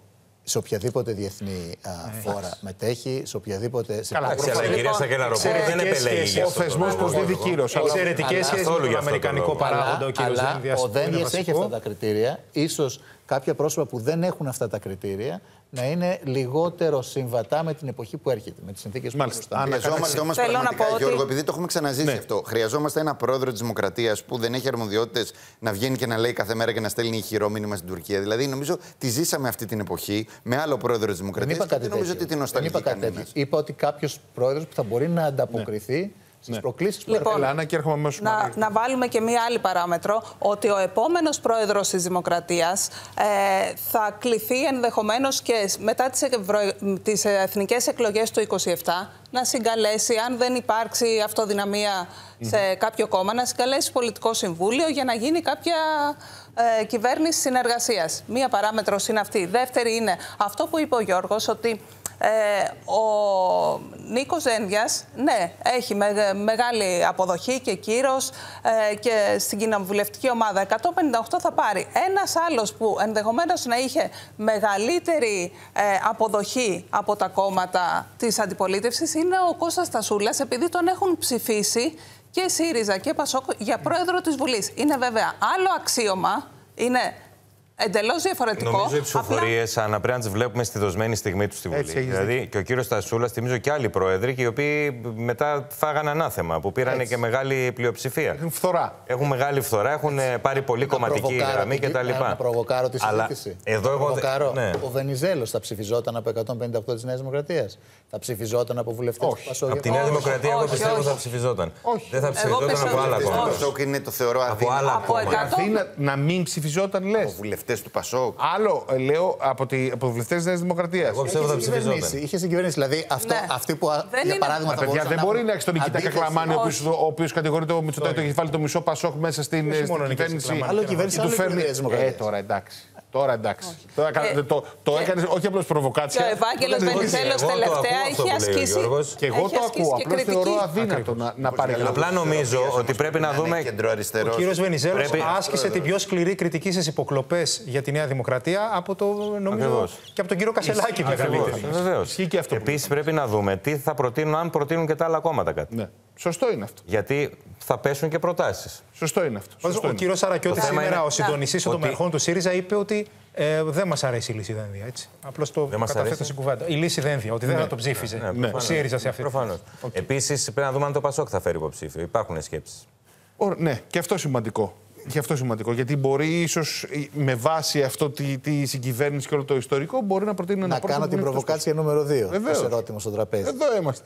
Ο- Το πρόκριμα του Προέδρου της Δημοκρατίας μήπως είναι και πρόκριμα για ενδεχόμενη κυβέρνηση συνεργασίας αν τα ποσοστά επιβεβαιωθούν αυτά που δείχνουν οι δημοσκοπήσεις μετά. Δηλαδή, αν η Νέα Δημοκρατία έχει αντίστοιχα ποσοστά των ευρωεκλογών, πού θα αναζητήσει, Στο ε, αν Πασόκ. θέλετε, Εντάξει. συμμάχους Δεν είναι πολιτικούς; μακριά. Το- Στο το έχει κέντρο, βάλει στο το. χώρο του κέντρου ή στα δεξιά της που κατά την άποψή μου είναι πολύ δύσκολο να συμμαχίσεις με τρία ρωσόφιλα κόμματα, για παράδειγμα. Γιατί ο Γιώργος φωτογραφίζει πάλι το ερώτημα με ποιον θα πάτε, που θα απευθύνεται στην αντιπολίτευση. Αυτό που θέλει να πετάξει από πάνω του αυτή τη στιγμή, κυρίως το Πασόκ. Ναι. Και γι' αυτό το λόγο γίνονται εκλογές. Εντάξει, Ένας είναι, από δρο- τους λόγους. είναι, είναι Εγώ θα ντροπή έλεγα να το πάντως- κάνετε αυτό λίγες ημέρες πριν τις εκλογές του Πασόκ. Εγώ θα έλεγα πάντως ότι είναι πιο πιθανό να έχουμε μελλοντική συνεργασία Νέας Δημοκρατίας με τα κόμματα στα δεξιά της παρά με το Πασόκ. Αυτή είναι η δικιά μου. Ε, Και εμένα αυτή είναι η αίσθησή μου. Δεν ήθελα να, να μπω στη Εγώ, διαδικασία. για να επειδή μην τσακωθούμε. γνωρίζω αρκετά την Νέα Δημοκρατία, μου φαίνεται πολύ δύσκολο να έχεις συνεργασία. Ε, ναι, με αλλά, ε, δεξιά το της γεγονός- κόμματα Για πολλούς λόγους. Το γεγονός ότι ξέρεις πολύ καλά τη Νέα Δημοκρατία ε, σημαίνει ότι δεν ξέρεις πολύ καλά το Πασόκ. Αυτό είναι προφανές. λοιπόν, Το ξέρει καλά το Πασόκ, νομίζω. Όλοι το μάθαμε. έλα Μαρία μου. Ναι, το γεγονός ότι κάνουμε αυτή τη συζήτηση έξι μήνες πριν λήξει η θητεία της κυρίας Σακελαροπούλου, νομίζω ότι κατά βάση πλήττει το θεσμό. Ναι, έχεις δίκιο. ε, Έχεις και την απόλυτο ίδια την κυρία Σακελαροπούλου. Ε, νομίζω όμως ότι αν πάει σε μία λύση η Νέα Δημοκρατία και προτείνει κάποιον σαν τον κύριο Δένδια, ότι τορπιλίζεται και το άνοιγμα προς το κέντρο. Και αυτό είναι κάτι πάνω στο οποίο είχε χτίσει ο κύριος Μητσοτάκης όλη αυτή την περίοδο. Ε, επειδή σας αρέσουν και τα γεγονότα για να δούμε ποιοι είναι ενδυνάμει δελφίνοι κτλ. Το 2015, όταν ε, για τελευταία φορά είχαμε την Β' Αθηνών ε, ολόκληρη χωρίς την κατάτμιση που ήρθε μετά, κύριος Δένδιας είχε έρθει πρώτος και είχε έρθει δεύτερος ο κύριος Μητσοτάκης.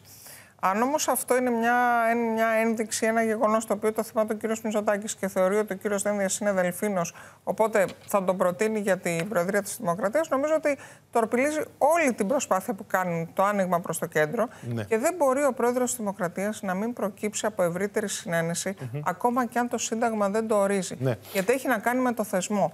Οι πολίτες... Το οποίο άλλαξε η Νέα Δημοκρατία για αυτό το λόγο. Ναι, ναι. ναι Εγώ πάντως... Οι πολίτες όμως, ναι. επειδή υπάρχει κρίση θεσμών και κρίση εμπιστοσύνης προς τους θεσμούς, πρέπει από κάπου να μπορούν να κρατηθούν. Δηλαδή, θα πρέπει το πρόσωπο το οποίο θα προταθεί να έχει τη δυνατότητα να ψηφιστεί και από άλλα κόμματα. Πάντως, ο κύριος Μητσοτάκης, για να μην ξεχνιόμαστε, είχε καταψηφίσει τον κύριο Προκόπη Παυλόπουλο. Ε, Χωρίς προφανή τότε αιτία κιόλας. Γεγονός είχε... που δίνει άλοθη και... σε κάθε βουλευτή της Νέας Δημοκρατίας να πει ότι εγώ θα καταψηφίσω. Και, και μην ξεχνάμε ότι δεν είναι λίγοι εκείνοι που λένε ότι αυτή η ενέργεια του Κυριάκου Μητσοτάκη ήταν το ισχυρό στίγμα που έδωσε προκειμένου να ακολουθήσει μετέπειτα πορεία. Θανάση, έχει, δίκιο, έχει δίκιο η Μαρία να λέει το εξής και ξέρετε, πολλές φορές στη, στη ροή όλη αυτή της πληροφόρησης και των ειδήσεων μας φεύγουν μερικά πράγματα. Και, και εγώ θεωρώ ότι πρέπει κάποια στιγμή να σταθούμε σε αυτό που λέει η Μαρία. Ότι η κουβέντα για, τον, για την Προεδρία της Δημοκρατίας έχει ανοίξει έξι μήνες πριν την εκλογή. Έχει ανοίξει από την ίδια τη Νέα Δημοκρατία. Ναι. Από βουλευτές εντός της κοινοβουλευτικής ομάδας που είπαν στο Μητσοτάκι είμαστε ορίζει δεδομένους, άνοιξαν το θέμα. Και ε, να τα λέμε και αυτά, είναι προσβολή στο θεσμό.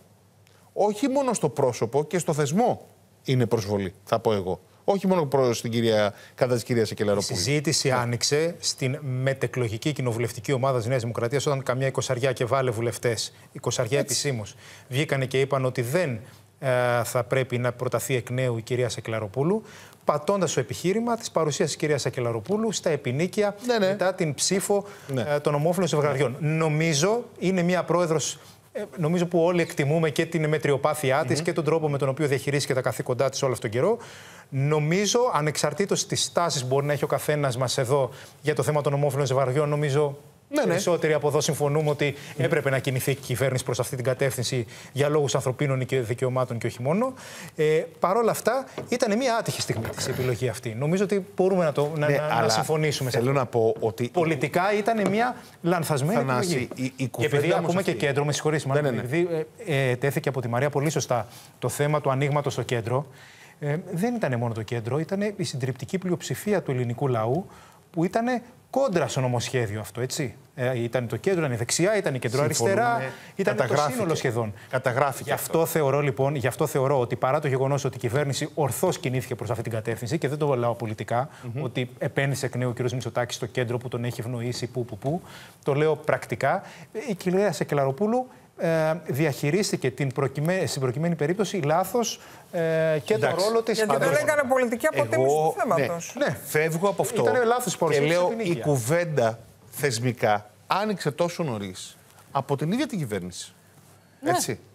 Για να τα λέμε όλα. Το είπε πριν και η Άννα στο ρεπορτάζ της ότι ανοίγει και εν ώψη ενός ναι. πολύ δύσκολου μήνα. Δεν άνοιξε από, ε, από απλές πληροφορίες που είδαν στα social media. Τέλος πάντων.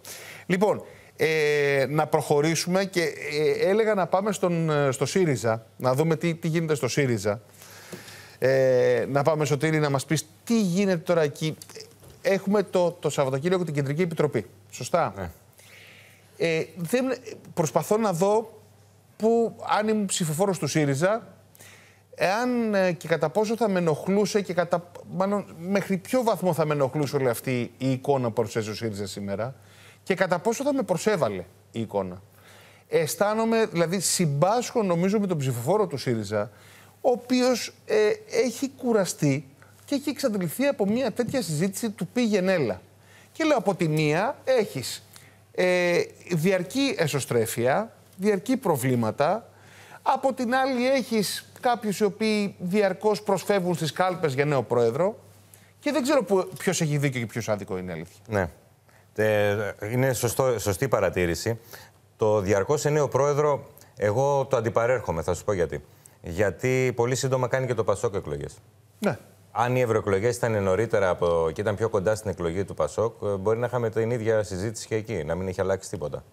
ε, δεύτερον, Ε, τι ζούμε στο ΣΥΡΙΖΑ αυτή τη στιγμή. Αυτή τη στιγμή στο ΣΥΡΙΖΑ ζούμε ε, κάτι που υπό άλλες συνθήκες, θα τολμήσω να πω, ε, για οποιοδήποτε άλλο πρόεδρο κόμματος, ό,τι έχει συμβεί αυτή, μέχρι αυτή τη στιγμή, το τελευταίο δεκαήμερο, θα ήταν μείζον πολιτικό θέμα. Δηλαδή, γίνεται μια ψηφοφορία στη Βουλή και η μισή κοινωνική ομάδα δεν ψηφίζει. Αυτό πώς θα το περιγράφαμε σε άλλες εποχές; Ζήτημα πολιτικής νομιμοποίησης. Ζήτημα αν στέκεται ένας πρόεδρος. Προχωράει το κόμμα. Δεν τίθεται ζήτημα, δεν το συζητάμε. Πάμε στην Κεντρική Επιτροπή. Βγαίνει ο άνθρωπος που τον στήριξε, ο Παύλος Πολάκης, τον κύριο Κασελάκη, και τον αμφισβητεί στην πολιτική γραμματεία με τον πιο ευθύ τρόπο και τον πιο σκληρό τρόπο. Το έχει κάνει ήδη τηλεοπτικά και το κάνει στα όργανα επίσημα. Και αφού περνάνε οι γάμοι, αντί είναι μια περίοδο χάριτος μάλιστα που η σιγή του είχε προκαλέσει αίσθηση, μήπως γιατί πληθαίναν και φωνές θα τον γυρίσει και η κοινοβουλευτική ομάδα θα τον γυρίσει, προλαβαίνει την, τελευ... την τελική ευθύ αυτή εβδομάδα, δηλαδή την Κυριακή, να κάνει ανάρτηση, να κατεβάσει μέρος της πλατφόρμας του, να κλείσει οποιαδήποτε, να προλάβει οποιαδήποτε ε, πιθανότητα να τον επιστρέψει στην κοινοβουλευτική ομάδα, να πάρει μια απόφαση ο κ. Κασελάκης και να βάλει μες στο κάδρο τους 87 για να μην φύγουν από την Κεντρική Επιτροπή. Άρα και να περιχαρακώσει ουσιαστικά την αυτονομία της υποψηφιότητά Ναι. του. Άρα τι ζούμε αυτή τη στιγμή. Ζούμε τον κύριο Κασελάκη επίσης να επιμένει να βλέπει πίσω από όλη αυτή τη στοχοποίηση τον Αλέξη Τσίπρα, αυτή την αμφισβήτηση. Το οποίο όμως πια δεν μπορεί να πάει μακριά υπό την έννοια πια ότι δεν έχει βάλει ο κύριος Τσίπρας τον Πολάκη να αμφισβητεί τον κύριο Κασελάκη. Ξέρουμε όλοι ότι οι σχέσεις δεν υπάρχουν. Δεν μπορεί να έχει βάλει. Δεν μπορεί να αναφέρει τον κύριο Πολάκη στον Αλέξη Τσίπρα. Επίσης ο κύριος Φαραντούρης δηλώνει ότι δεν μπορούμε να τον χρεώσουμε και αυτόν στον κύριο Τσίπρα. Βγαίνει ο κύριος Φάμελος, ο οποίος και αυτός αμφισβητεί, ούτε αυτόν μπορούμε να τον χρεώσουμε στην ομάδα των 87. Άρα υπάρχει μια γενικότερη αμφισβήτηση και μέσα στο κόμμα. Ναι, αλλά χρεώνεις όμως τον κύριο Τσίπρα την πρώτη απόπειρα στο συνέδριο. Εκεί τι γίνεται. Θέλω να πω, υπάρχει, έχει, έχει δώσει δικαιώματα, να το πω. Έχει έτσι. δώσει δικαιώματα, Ναι. αλλά το να πει ο πρώην πρόεδρος την άποψή του σε μια Σύμφωνοι. δοσμένη στιγμή κορυφαία, Σύμφωνοι, σύμφωνοι. νομίζω είχε χρέος. Γιατί λοιπόν τότε δεν ζητήθηκε η άποψη του Αλέξη Τσίπρα, αλλά τώρα ζητείται από τον κύριο Κασελάκη να παρέμβει; Ναι. Με τον ίδιο τρόπο όμως λέει το ρεπορτάζ που είχε σιγή πέρυσι πριν ένα χρόνο για την εκλογή. Τον ίδιο τρόπο θα κινηθεί και τώρα. Πάλι σιγή θα έχουμε. Θα είναι η σιγή Τσίπρα το νούμερο 2, η δεύτερο μέρος, όπως το λέω εγώ. Δεν θα παρέμβει. Ε, το θέμα είναι να φτάσουμε στην Κεντρική Επιτροπή. Θα γίνει και μια πολιτική γραμματεία μέσα στην εβδομάδα, γύρω στην Πέμπτη μάλλον. Το θέμα είναι να φτάσουμε στην ε, Κεντρική Επιτροπή και να ανοίξουν όλα τα χαρτιά τους. Ο κύριος Κασελάκης, ενώ έχει κατ' κατ' επανάληψη και σε δημόσιες τοποθετήσεις του πει Εδώ είμαι, να πάμε να ξαναμετρηθούμε στη βάση. Ε, Παρ' όλα αυτά, λέει ευθέως, κάντε μορφή. Ακολουθήστε καταστατικές Σε διαδικασίες. αυτό δεν έχει δίκιο τώρα. Δηλαδή, ε, το ότι λέει, παιδιά, αφού με αμφισβητείτε, ε, θέστε το θέμα. Τον αμφισβήτησαν τον Θεσμικά. κύριο Ανδρουλάκη, για παράδειγμα, μετά τις ευρωεκλογές. Ναι. Δεν πήγε σε ψηφοφορίες να γίνουν μορφή κτλ. Είπε πάμε σε εκλογές. Αυτό του ζητούν και οι 87 και ο κύριος Πολάκης και Ναι, όλοι. μισό λεπτό. Να Ο πάρει κύριος- την πολιτική Ο κύριος ευθύνη. Ανδρουλάκης είχε ε, πέρασε από μια, α, από μια εκλογική διαδικασία. Δεν είναι φρέσκος. Δηλαδή, θέλω να πω ότι ο κύριος Κασελάκης πόσο καιρό είναι Δηλαδή, Ένα χρόνο. μέχρι να παλιώσει ο κύριος Κασελάκης, θα Όχι. κάνουμε και δεύτερες εθνικές εκλογές. Όχι, όχι. Λέω, ναι, αλλά πρόσεξε όμως από την άλλη πλευρά, εφόσον τίθεται ένα θέμα, κάνω τώρα το συνήγορο του διαβόλου. Ναι, ναι, γιατί ορθώς. είναι η άλλη πλευρά που λέει το εξής: ότι, Παιδιά, εγώ είμαι 11 μήνες πρόεδρος. Αν με αμφισβη- αμφισβητείτε, θέστε το θέμα θεσμικά. Δεν έχει δίκιο. Ναι, αλλά είναι και το πολιτικό ζήτημα που του λένε εδώ. Ο- Ξαναλέω, θυμίζω, στην κοινοβουλευτική ομάδα δεν ψηφίστηκε από τη μιση Ξαναλέω, υπό άλλες συνθήκες, πώς θα πάμε ένα περιγράφαμε βήμα πιο αυτή πίσω, την πολιτική Ναι. ε, κατάσταση. Αν τίθεται ζήτημα νομιμοποίησης. Ναι. Ξαναλέω λοιπόν, πάμε στην Κεντρική Επιτροπή. Η πλευρά του κ. Κασελάκη λέει: Κάντε μου μορφή. Θέλει να παίξει, να, να, να ζυγιστεί σε επίπεδο κόμματος και συσχετισμών οριακής έστω πλειοψηφίας. Ακόμα και να χάσει, αν στο τέλος γίνει μορφή, γιατί όσοι τον αμφισβητούν και θα δηλώσουν παρόν με πρώτο και καλύτερο τον κύριο Πολάκη, δεν θα πούνε μορφή. Θα πούνε πάρε την ευθύνη να οδηγηθούμε κατευθείαν σε κάλπες. Ναι. Γιατί οτιδήποτε άλλο σε μορφή, τι γίνεται. Ακόμα και να τη χάσει ο κύριος Κασελάκης. Πάμε σε συνέδριο, αυτό που ήδη έχει κανονιστεί να γίνει. Εκεί θα επιδιώξει ο κύριος Κασελάκης να ζυγιστούν εντός του συνεδρίου και να μετρηθούν. Δηλαδή με τους συνέδρους, που εκεί και πάλι υποτίθεται μιλάει η βάση. Εκεί θα ζυγιστούν τα προγράμματα. Αν θα περάσουν οι καταστατικές αλλαγές του κυρίου Κασελάκη, όπου μιλάμε για, πια για έναν άλλο ΣΥΡΙΖΑ, τον οποίο τα παλαιότερα και τα πιο προβεβλημένα στελέχη ούτε να το ακούν δεν θέλουν. Γιατί ουσιαστικά δεν υπάρχουν πια οργανώσεις βάσης, υπάρχει μια τελείως διαφορετική λειτουργία. Ε, ή, θα, ή θα το χάσει. Ναι. Και εκεί αναγκαστικά πας ξανά σε κάλπες. Έρχομαι αμέσως, Χάρη, Αλλά κάτι πάμε θέλω για να πει πολύ Μαρία. μετά. Όπως καταλαβαίνεις, δηλαδή είναι ένα σύριαλ το οποίο θα το ζήσουμε μέχρι τέλος. Το μόνο που μπορώ να σου πω είναι ότι στην Κεντρική Επιτροπή θα, τα αίματα θα είναι. Όχι θα ανάψουν.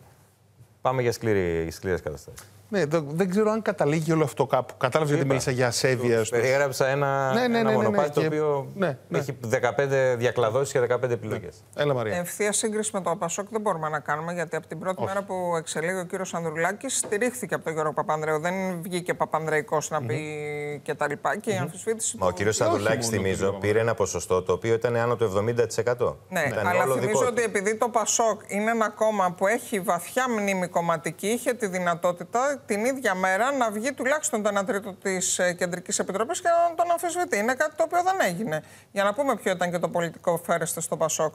Ο κύριος Τι Κασελάκης. εννοείς δεν έγινε, δεν αμφισβητήθηκε ο κύριος Δεν Σανδουλάκη. αμφισβητήθηκε ο κύριος Ανδρουλάκης από τη μέρα που- των εκλογών, των ευρωεκλογών μετά από Μα τρεις ήταν το εκλογικές ποσοστό αναμετρήσεις. τέτοιο. Δύο λεπτά, μια στιγμή. Ήταν το ποσοστό Να- να τα τέτοιο που βάλουμε δεν όμως- άφηνε Πρέπει να τα περιθώρια. βάζουμε στα ίδια μεγέθη. Γιατί ο κύριο Ανδρουλάκη εκλέγεται, έχει μπροστά του εκλογικές αναμετρήσεις, τις οποίες και κάνει δύο εθνικές αναμετρήσεις Μάιο και Ιούνιο του 2023 και αμφισβητείται τον Ιούνιο του 2024. Σε αυτό έχει δίκιο τώρα. Δεν, αμφισβήτησε, δεν αμφισβητήθηκε από τους Παπανδρεϊκού.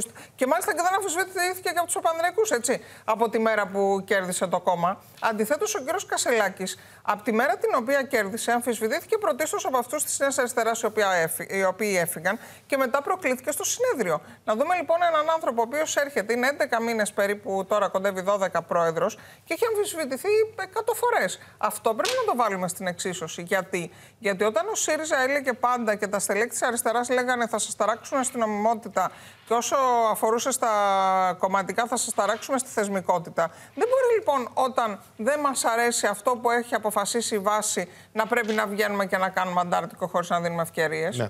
Από την άλλη, να πω και το εξής, γιατί και το, α, αυτό που περιγράφεις είναι εντελώς κανονικό και έρχομαι χάρη μου αμέσως σε σένα.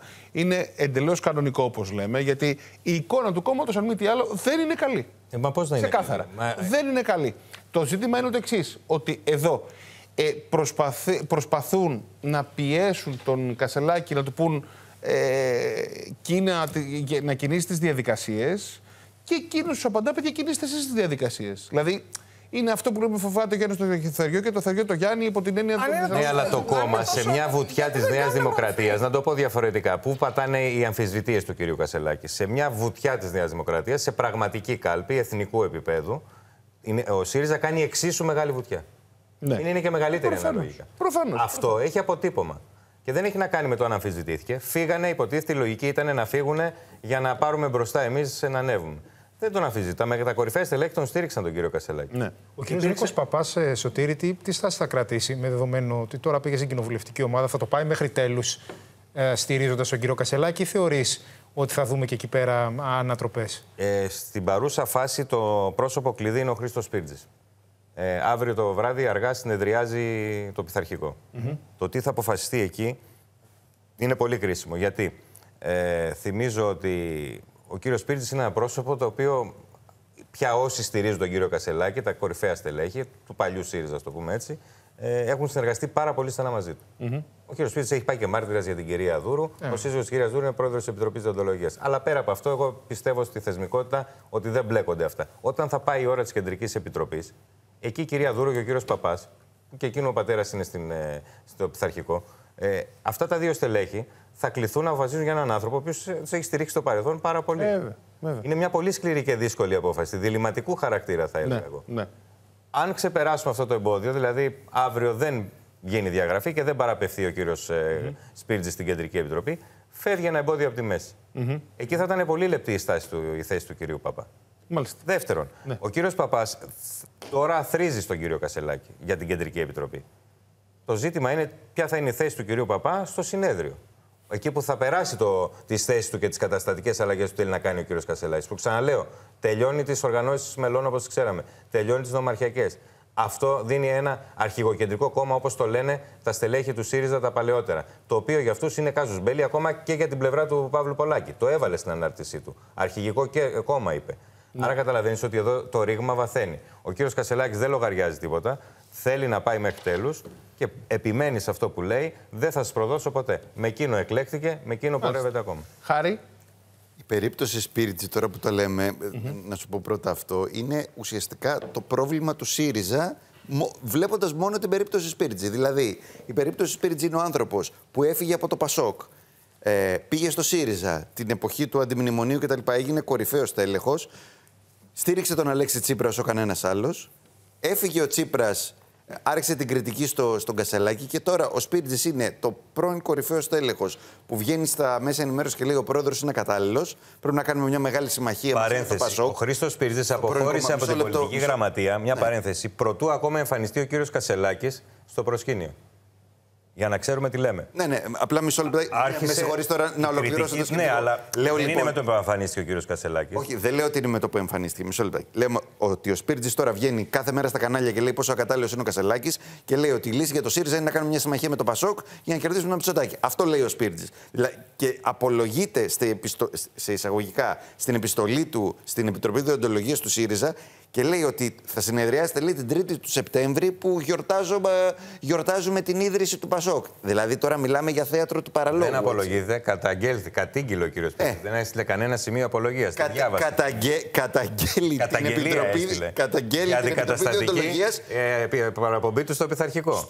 Και λέει, κατηγορεί το κόμμα του για τις διαδικασίες που κάνει, επικαλούμενος ότι το κάνετε ρε παιδιά στη γιορτή του Πασόκ. Δηλαδή, δεν είπε αυτό. Λέει, απαντήστε μου την προηγούμενη τουλάχιστον, γιατί την 3η του Σεπτέμβρη είναι και μια συμβολική μέρα. Πάμε τώρα στο Ένα πολιτικό ζήτημα βάζει πέρα από μέσα σε μια καταγγελία. Ωραία, πέρα από την επιστολή τώρα, πέρα από την. Δηλαδή, συγγνώμη, δεν θα γιορτάζουν την 3η του Σεπτέμβρη; Στο ΣΥΡΙΖΑ δεν ξέρω πόσοι θα τη γιορτάσουν. Μη σου πω οι περισσότεροι. Ναι. Πάντως, τώρα στο γενικότερο θέμα του ΣΥΡΙΖΑ. Ποιο είναι το πρόβλημα του ΣΥΡΙΖΑ αυτή τη στιγμή; Το μεγάλο ερώτημα στο ΣΥΡΙΖΑ είναι το εξής. Δεν είναι αν θα κάνει ισοκομματικέ εκλογές ή όχι για εκλογή Προέδρου. Το ερώτημα είναι εάν η εκλογή Προέδρου στο ΣΥΡΙΖΑ αυτή τη στιγμή είναι η λύση στο πρόβλημά του.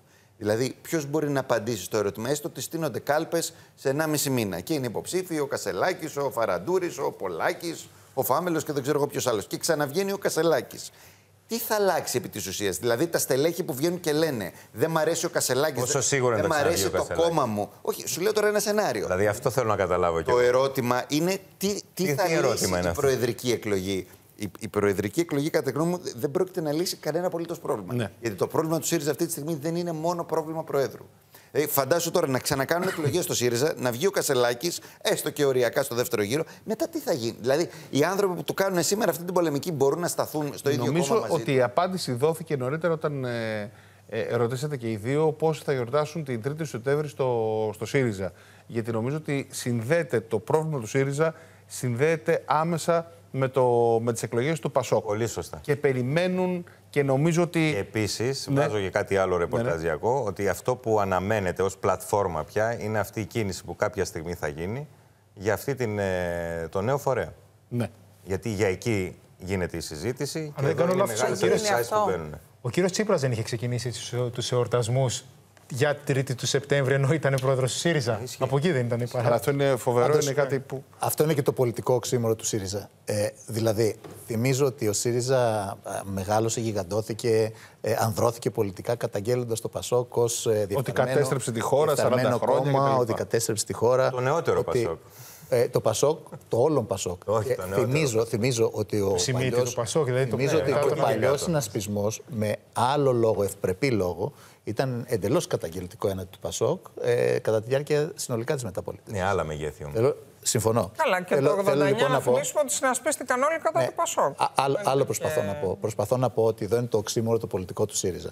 Από τη μία λοιπόν ε, ομνεί και α, γιορτάζει την 3η του Σεπτέμβρη και από την άλλη ε, υπάρχει, υφίσταται, αν υφίσταται, γιατί νομίζω ότι πια δεν υφίσταται και δεν το ξέρουν ότι δεν υφίστανται ως κόμμα, ε, ε, προσπαθώντας ε, να, να, να, κατηγορήσουν, να πατήσουν πάνω στο, στο τέλος του τότε Πασόκ και της ε, ε, τότε Νέας Δημοκρατίας. Νομίζω λοιπόν ότι ο ΣΥΡΙΖΑ ως πολιτικός φορέας δεν έχει λόγο ύπαρξης, δεν υπάρχει πολιτικά, δεν υφίσταται πολιτικά, δεν έχει να πει τίποτα στην κοινωνία πολιτικά. Εδώ ναι. συζητάμε για μία σύγκρουση χωρίς κανένα πολιτικό υπόβαθρο. Συζητάμε για σύγκρουση πολιτικών στελεχών ο Πολάκης βάζει ε, προσωπικούς όρους στη σύγκρουση και μόνο. Ο Κασελάκης, κανείς δεν ξέρει τι πρεσβεύει πραγματικά. Άλλα λέει το πρωί, άλλα το μεσημέρι, άλλα το βράδυ. Ο, πάντως Θέλω να το δώσω Πού κι είναι εγώ. ένας λόγος αμφισβήτησης αυτός όμως. Θέλω να Ο δώσω οποίος κι εγώ είναι ένα και δίκιο. κόντρα σε βασικές αρχές του κόμματος. Θέλω να δώσω κι εγώ ένα να δίκιο ρωτήσω στο και θέλω να σε Πολάκη. ρωτήσω κάτι μετά σχέση με αυτό. Αυτό που είπε η Μαρία, ότι είναι 11 μήνες πρόεδρος, τον εξέλεξε η βάση του κόμματος και δεν του δώσαν ούτε ανάσα να πάρει. Και δεν του έδωσε ανάσα ο ίδιος ο Τσίπρας. Θυμίζω ότι πριν το συνέδριο, μία ώρα βγήκε με δημόσια δήλωση ο πρώην πρόεδρος του κόμματος και ο ιστορικός ηγέτης αυτού του κόμματος, λέγοντας ότι δεν κάνεις εσύ για πρόεδρος. Όχι, τι ζήτησε ο κύριος Τσίπρας τότε. Ποια ήταν η λέξη, σοβαρότητα. Ε, Ποιος είναι ο κριτής της σοβαρότητας, Είναι ο Νομίζω πρώην αυτοί πρόεδρος. που είναι στο σπίτι Η κρίνουν σοβαρότητα σοβαρότητα. δηλαδή είναι η επιλογή Πολάκη για υπουργός υγείας που ήταν ο κύριος Τσίπρας ως εγγυητής του σοβαρότητας. Ακόμα και σήμερα, Σοβαρότητα αν ήταν το ρωτήσεις- κόμμα του ΣΥΡΙΖΑ τα ρωτήσεις τελευταία τον χρόνια. Αλέξη Δηλαδή, Τσίπρα ή οποιοδήποτε άλλο τέλεχο που έχει βρεθεί απέναντι στον κύριο Πολάκη ε, και σκληρά απέναντι, θα πει ότι σαν υπουργός ήταν πάρα πολύ καλός. Εντάξει, ε, ε, η, η λέξη σοβαρότητα δηλαδή. Άρα επίτρεψε εδώ- μου, μην, μην προσπαθείς να. ε, Όχι, ε, δεν προσπαθώ. προσπαθείς Κάνω- να δεις κάνω- ένα επιχείρημα. Όχι, το όχι, οποίο κανένα να επιχείρημα. Εγώ θα πω κάτι, το εξής. Επικαλείσαι τη λέξη σοβαρότητα και βάζεις την εξίσου στον Ναι, Πολάκη. αμφισβητήθηκε, αλλά την ίδια στιγμή εδώ ξεχνάμε κάποιες αρχές και την αρχή της ανακλητότητας. Το έχω ξαναπεί νομίζω στην εκπομπή. Δεν σημαίνει ότι εκλέγεσαι και τέλος δεν λογοδοτείς. Ότι λειτουργήσε εκτός πλαισίου, λες, της αριστεράς εξ Φυσικά και, Πάντως, και δεν είναι μόνο αυτό. Δεν γίνεται να εκλέγεσαι όμως Συγγνώμη, τον όταν Οκτώβριο βγαίνει- και να αμφισβητήσει από την επόμενη μέρα. Δηλαδή δεν γίνεται 11 μήνες. Εγώ να ρωτήσω κάτι. Πρέπει Επειδή ο Κασελάκης καλύπτεις χρόνια. Κάποια στιγμή να γίνει πρόεδρος. Καλή τη χρόνια το, το ρεπορτάζ. Εντάξει, τέλος σου, πάντων, παιδί. ίσως Και εγώ δεν τα όχι- βλέπω καλά τα Όχι, όχι, πράγματα. όχι. Θέλω να σε ρωτήσω. Ε, Μήπως τελικά όλο αυτό που βγαίνει σήμερα στο, χι- στο ΣΥΡΙΖΑ, η αμφισβήτηση και όλο αυτό το κλίμα, υπήρχε και επί Τσίπρα απλώς η, ο ΣΥΡΙΖΑ τότε ήταν κυβέρνηση ή ήταν, υπήρχε μπροστά κυβερνησιμότητα και κάποιοι έκλειναν το στόμα τους ή ο Τσίπρας είχε τον μηχανισμό που όλο αυτό το, Ο Τσίπρας δεν το βγήκε να πει κρατούσε σε, πουμαρό χαμη- ποτέ. σε Δεν χαμηλή... βγήκε- σαν πρόεδρος δεν βγήκε ποτέ να πει πουμαρό. Που μπορεί να ήταν, εγώ δεν αμφιβάλλω. Δεν βγήκε ποτέ να απαξιώσει διαδικασίες του κόμματος. Ναι. Που μπορεί να ήταν απαξιωμένες. Ε, δεν ε, έκανε σαν πρόεδρος προσωπικές επιθέσεις παρότι δεχόταν επιθέσεις. Δηλαδή, Μα αυτό λέω, ότι η αμφισβήτηση που Ο δέχεται Αλέξης σήμερα ο Τσίπρας, λοιπόν. Κασελάκης. Ναι, ήταν ανεπόσπαστο όμως όμως να διαγράψει και τον Πολάκη. Ήθελε, με την προσωπικότητα του κάλυπτε όλη Αυτό αυτή την ήθελα να πω. ανεπάρκεια τώρα. την Ο κομματική. Αλέξης Τσίπρα, λοιπόν, επειδή και ήταν ήθελε, τόσο θετικό, Είχε όμως και άλλη μάζευε τον κόσμο επιδίωξη. γύρω του, προσπαθούσε να ισορροπεί, άκουγε τις τάσεις, συνεδρίαζαν τα όργανα με τον τρόπο που συνεδρίαζαν. Αυτό Άκουγε ή λοιπόν. έκανε πως άκουγε, γιατί δεν πρέπει να έχει και ένα Πάντως, κόμμα για να εκλεγεί έστω, πρωθυπουργός. έστω, Μαρία. Σωτήρη, από την άλλη, δεν είναι και πολιτικά, πώς να το πω, από την πλευρά του κυρίου Αλέξη Τσίπρα, ειδικά με όλη αυτή τη σημειολογία που έχει ακόμα για το ΣΥΡΙΖΑ. Ε, το γεγονός, ας πούμε, ότι φορτώνουν και στον Κασελάκη μέχρι και το προπατορικό αμάρτημα. Δηλαδή τα, τα μέσα του Αυτό ΣΥΡΙΖΑ. ακριβώς. Δηλαδή και ο τα κύριος μέσα- Τσίπρας υποχωρεί στην κυρία Αξιόγλου, παρετείται. Εκλέγεται ο κύριος Κασελάκης και μετά ξαφνικά. Είναι το προπατο... καταλαβαίνετε μέχρι και το ότι δεν- προπατορικό Χωρίς την κυρία αμάρτημα. Αξιόγλου, εγώ να, να πω δεν λίγο μπορώ ένα να το παράδειγμα. στοιχειοθετήσω Όχι, αυτό. συγκεκριμένο θα σου Αν πω. εγώ. υποχώρησε στην κυρία τα Αξιόγλου, μέσα, εμένα του να το πει ο ΣΥΡΙΖΑ, ίδιος. τα μέσα του ΣΥΡΙΖΑ περιήλθαν σε αυτή την οικονομική κατάσταση την τραγική και στην απαξίωση επί Τσίπρα ή επί Κασελάκη; Όχι, Σαφέστατα. δεν είναι, και- είναι σαφές και το παραδέχονται Σαφέστατα όλοι και αυτό. έτσι. Αλλά εδώ ποιο είναι το πρόβλημα; Εδώ, ας πούμε, ζητήθηκε, ας πούμε, για παράδειγμα, από το κόμμα να πούνε πόσοι έχουν προσληφθεί και πού. Και με τι ποσά. Και εδώ η επίκληση είναι, επειδή υπάρχει ζωτικό ζήτημα να πληρωθούν άνθρωποι, που δεν έχουν πληρωθεί ακόμα, ξαναλέω, ε, ότι είναι προσωπικά δεδομένα. Αυτό για τη λογοδοσία σε ένα κόμμα δεν λειτουργεί. Προφανέστατα. Ναι. Γιατί εδώ υπάρχουν Ινστιτούτο Πουλατζάς, υπάρχει ένα ραδιόφωνο, υπάρχει το κόμμα. Δεν έχουν δοθεί στοιχεία. Το οποίο ενδέχεται όμως Δεν δοθήκανε θεσμικά μέσα στο κόμμα. Όχι να βγουν στη δημοσιότητα. Και φυσικά Κατάλαβα για να τα το. λέμε όλα. Άρα όλα εδώ πέρα ήρθανε Δεν προ... θα και, ανασύγουμε αμέσως. και πρώτε τελεσμένου. Δηλαδή κάποια στιγμή ε, έγινε ένα θέμα, θυμίζω, με το δανεισμό του, των κομματικών μέσα. βέβαια, βέβαια. Την ίδια μέρα εκταμιεύθηκε, έγινε όταν ένα υποτίθεται θέμα. ότι έγινε το δάνειο, εκταμιεύθηκε η κρατική επιχορήγηση. Και τελικά τα λεφτά δεν χρειάστηκαν. Εκεί Ναι. θυμίζω ότι είχαμε ένα debate με τον πρώην ε, οικονομικό διευθυντή, ότι εγώ έβαλα λεφτά να λέει ο κύριος Κασελάκης. Εντάξει, να πω Μετά κάτι. βγαίνει, μισό Ε, λεπτό, ναι, για ναι, να ναι. δώσω να καταλάβουμε τώρα τι γίνεται. Ναι. Γίνονται επίσημες διαρροές και τώρα εγώ πάω κόντρα, δηλαδή τελείωσε ό,τι συζητάμε και προσπαθώ να κάνω το συνήγορο διαβόλου για την αμφισβήτηση. Ε, βγαίνει ε, από το γραφείο τύπου, από το ΣΥΡΙΖΑ, ας πούμε, κεντρικά, ποιοι, δεν βα- ή ποιοι βάλαν λεφτά. Και όλοι οι άλλοι δεν βάζουν λεφτά. Ναι. Ποιοι δεν βάλαν λεφτά. Ήταν δανεισμός του κόμματος έξτρα. Που έχουν βάλει άλλοι στα χρόνια, ας πούμε, στοχοποιήθηκε Ισχύει και η αυτό κυρία που λες. Γεροβασίλη. Ήταν συγκεκριμένη Έχει βάλει διαρροή. σχεδόν 200.000 όλα τα χρόνια ήταν στο κόμμα και στα συγκεκριμένη κομματικά διαρροή και μέσα. έχεις απόλυτο δίκιο. Από την άλλη πλευρά πρέπει να σου πω ότι εδώ έγιναν και αγριότητες όμως. Δηλαδή, εγώ τέτοια αντιπαράθεση. Γιατί ρωτούσα και πέρσι όλους εσάς εδώ στο, στο τραπέζι αν έχει ξαναυπάρξει τέτοια κόντρα πρόεδρων σε οικονομικό επίπεδο, σε επίπεδο ο ένας να καταγγείλει τον άλλο για διαφορά. Μαύρα ταμεία. Για μαύρα Μαύρα ταμεία Θυμόμαστε και οτιδήποτε αυτά. άλλο. Υπήρξε πρόκληση από τον κύριο Τσίπρα για να πει για μαύρα ταμεία; Όχι. Ναι, κοίταξε. Ε, δεν υπήρξε, αλλά εδώ έγινε. Ε, γι' αυτό μίλησα κάποια στιγμή για ασέβεια προς τους ψηφοφόρους του ΣΥΡΙΖΑ. Για να μην θυμίσουμε. Δεν τιμά τους ανθρώπου που προσδοκούν. Για να, πάμε, για να μην θυμίσω την ανάρτηση από την Αμερική την τελευταία. Όταν είπε ότι με αμφισβητείς. Παίζεις παιχνίδια πίσω από την πλάτη μου. Ναι. Σωτήρη, είναι δηλαδή... πρωτοφανές ότι έχουν εμπλακεί και οι οικογένειες. Εγώ δεν θυμάμαι ποτέ στα χρονικά τα αδέρφια και τα ξαδέρφια των πρώην και των νυν προέδρων να παρεμβαίνουν. Ευτυχώς τα λέτε εσείς να μην τα λέω εγώ. Μέσω Facebook. Για να ξέρουμε γιατί γίνεται δύο λεπτά. Είναι πρωτοφανές και προφανές. Επειδή πολλοί είχαν συγγενείς στις κεντρικές επιτροπές και τα λοιπά και πιο πριν που αναφέρθηκαν και άλλες επιτροπές του κόμματος και όλα αυτά και εκείνοι τοποθετούνταν. Απλώς δεν έχεραν τι Μα συγγνώμη, τι συγκρίνουμε. Συγγνώμη, μισό λεπτό. Μισό λεπτό. Μιλάμε τώρα πούμε, για τον Γιώργο Τσίπρα, ξάδερφο του Αλέξη Τσίπρα. Ο Γιώργος Τσίπρας δεν είναι σχεδόν σαν ιδρυτικό μέλος του ΣΥΡΙΖΑ. Δεν είναι από την πρώτη στιγμή πολιτικοποιημένο τέλεχο. Δηλαδή θα συζητήσουμε τώρα ότι υπάρχει. Νομίζω ότι είχε προέρθει από την εξωγενοβουλευτική αριστερά. Ο Γιώργος Τσίπρα άρθρωσε πολιτικό λόγο και είχε πολιτική θέση εφόσον είχε πολιτική ιδιότητα. Στην αρχή ήταν Γενικός Γραμματέας του Υπουργείου και μετά έγινε, αν δεν κάνω λάθος, Υφυπουργός. Ναι. Από εκεί και πέρα. στο πολιτικό λόγο. Εγώ δεν θυμάμαι ποτέ χωρίς πολιτικό ρόλο τον αδερφό του Προέδρου ενός κόμματος. Δεν έχει καμία πολιτική θέση θεσμική ή ε, την αδερφή, ή την αδερφή του Προέδρου, Προέδρου να τσακώνεται για το κόμμα. Να Λέει για το Στέλιο Κασελάκη. Ναι, το καταλάβω. Ναι, ναι, για να μην μπερδευτούμε. Ανδρέα. Ναι, για το Στέλιο ε, Κασελάκη, λέει, ο οποίος γνωρίζει τα οικονομικά του κόμματος. Ε, Όχι, πολύ πάντως. Το... Άλλα στελέχη, συγγνώμη, Θανάση. Ναι, δεν... Λένε ότι έχει και γραφείο ε, στον 7ο όροφο. Mm-hmm. Δηλαδή, εδώ είναι κάποια πράγματα τα οποία αλυσιδωτά πάνε. Εντάξει, και η κυρία Ζανέτη Τσίπρα έχει κάνει παρεμβάσεις, στηρίζοντας ενίοτε και τον κύριο Πολάκη, αν θυμάμαι καλά, αν δεν. Ξαναλέω, ως μέλη του κόμματος. Ω ε, μέλη του κόμματος. Πάντως, το θέμα είναι το εξής, ότι ε, αυτή όλη η κατάσταση που επικρατεί στον ΣΥΡΙΖΑ, εάν ο κύριος Τσίπρας λέμε ότι έχει κάποιες φιλοδοξίες, όχι πια για αυτό το κόμμα το οποίο έχει απομείνει, σε, που ήταν πρόεδρος και τον ανέδειξε και στην Πρωθυπουργία κάποια στιγμή και το έβγαλε και βεβαίως ο ίδιος κυβέρνηση με την προσωπικότητά του για να μην τα λησμονούμε όλα. Η κατάσταση αυτή τον βολεύει μια χαρά. Εάν έχει ο κύριος Τσίπρας πολιτικά σχέδια, τα οποία βεβαίως ξεπερνούν πια τα όρια του ΣΥΡΙΖΑ και άπτονται της ενιαίας κεντροαριστεράς, η κατάσταση αυτή τον βολεύει μια χαρά. Και ο κύριος Τσίπρας δείχνει ότι ενδιαφέρεται. Δεν ακολουθεί στρατηγική Κώστα Καραμαλή, όταν έφυγε, για παράδειγμα, από τη Νέα Δημοκρατία, κράτησε με την κοινοβουλευτική έδρα, αλλά τον χάσαμε. Ναι. Έτσι και ψάχναμε να τον βρούμε. Ο κύριος Τσίπρας έχει κάνει συγκεκριμένη παρέμβαση στα εσωκομματικά του ΣΥΡΙΖΑ πριν από την κορυφαία διαδικασία του κόμματος, στο συνέδριο. Ε, έχει κάνει διαρροές απαντώντας στον κύριο Κασελάκη, δικαίως βεβαίως, για αυτά τα οποία ε, ο ίδιος του απέδιδε. Ο διάδοχός του στην ηγεσία. Και είναι προφανές ότι εφόσον ο κύριος Τσίπρας, που δείχνει ότι έχει, επαναλαμβάνω, τέτοιου είδους φιλοδοξίες, σκέψεις ή προσδοκίες για την ενιαία και την αριστερά, το κομμάτι αυτό της μπαχαλοποίησης του ΣΥΡΙΖΑ αυτή τη στιγμή μια χαρά που βολεύει. Μάλιστα. Πάντως, ναι, το, αυτό το σενάριο της ενιαίας κεντροαριστεράς, να θυμίσουμε ότι ο Πολάκης το χαρακτηρίζει κεντροαριστερό χυλό της διαπλοκής. Το ίδιο και ο κύριος Κασελάκης. Πώς γίνεται το σχέδιο που προωθεί ο Κεντροαριστεράς σκέτο, άσε το ενιαίο. Κεντροαριστεράς σκέτο. Δηλαδή δεν βγάζεις. Κάτι μεγαλύτερο από το ΣΥΡΙΖΑ για να συνεννοηθούμε, εν πάση περιπτώσει. Αυτό θέλω να πούμε. Κάτι που ξεπερνάει τα όρια του ΣΥΡΙΖΑ. Πάντως, για να είμαστε δίκαιοι, πέρα από τα λάθη του Κασελάκη που κάνει και λάθη πολιτικά και λάθη στρατηγικής και λάθη επικοινωνιακά, αυτό δεν αμφισβητείται. Δηλαδή, βλέπουμε σειρά λαθών, ειδικά μετά τις ευρωεκλογές.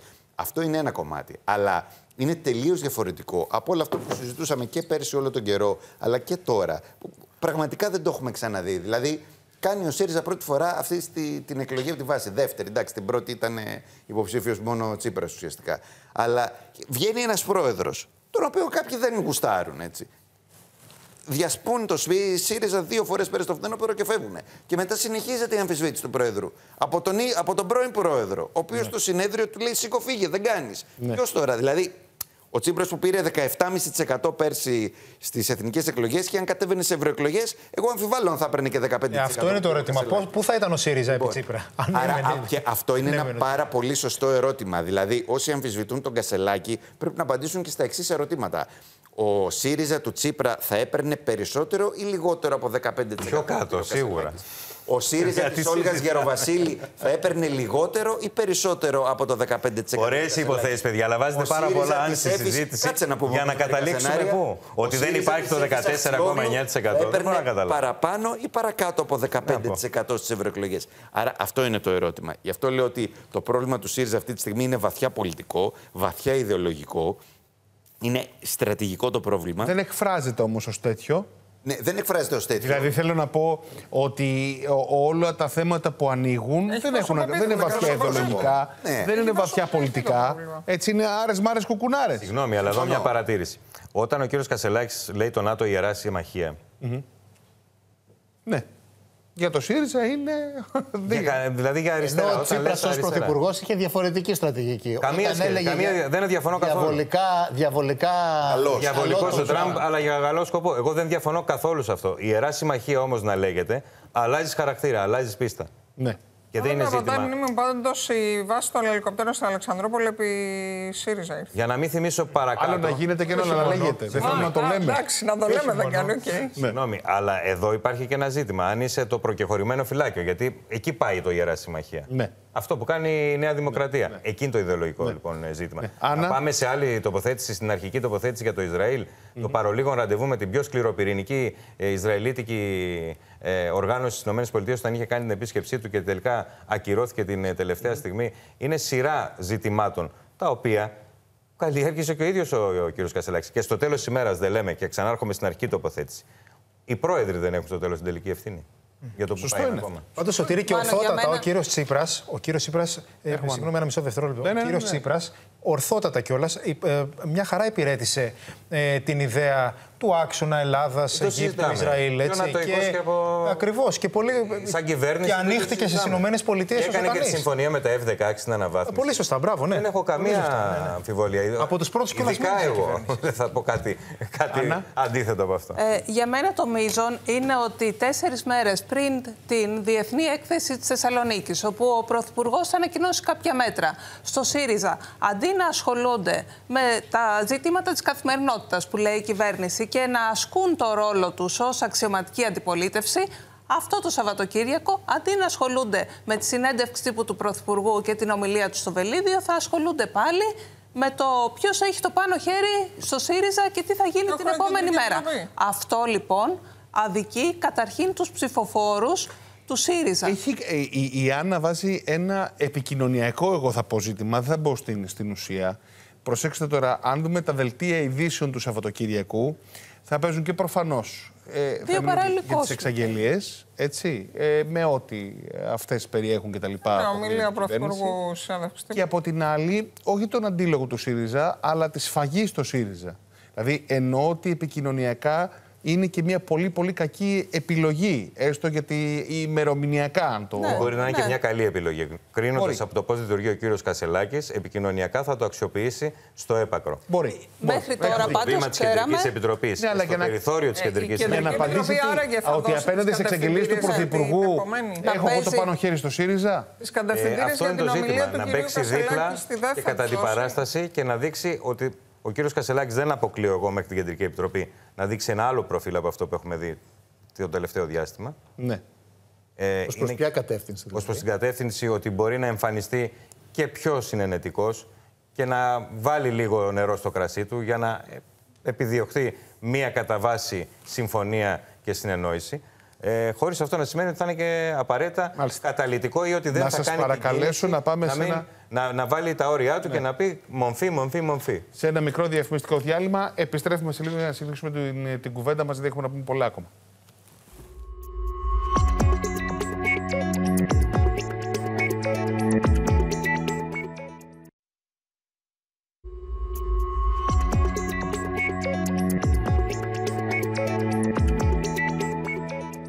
Επιστρέφουμε στην κουβέντα μας κυρίες και κύριοι και είχαμε μείνει στα του ΣΥΡΙΖΑ. Ε, θα πάμε και στα του Πασόκ. Αν και εγώ θα επιμένω μέχρι τέλους ότι είναι συγκοινωνούν δοχεία. Η μία κρίση με την άλλη ε, είναι, αποτελούν συγκοινωνούν δοχεία.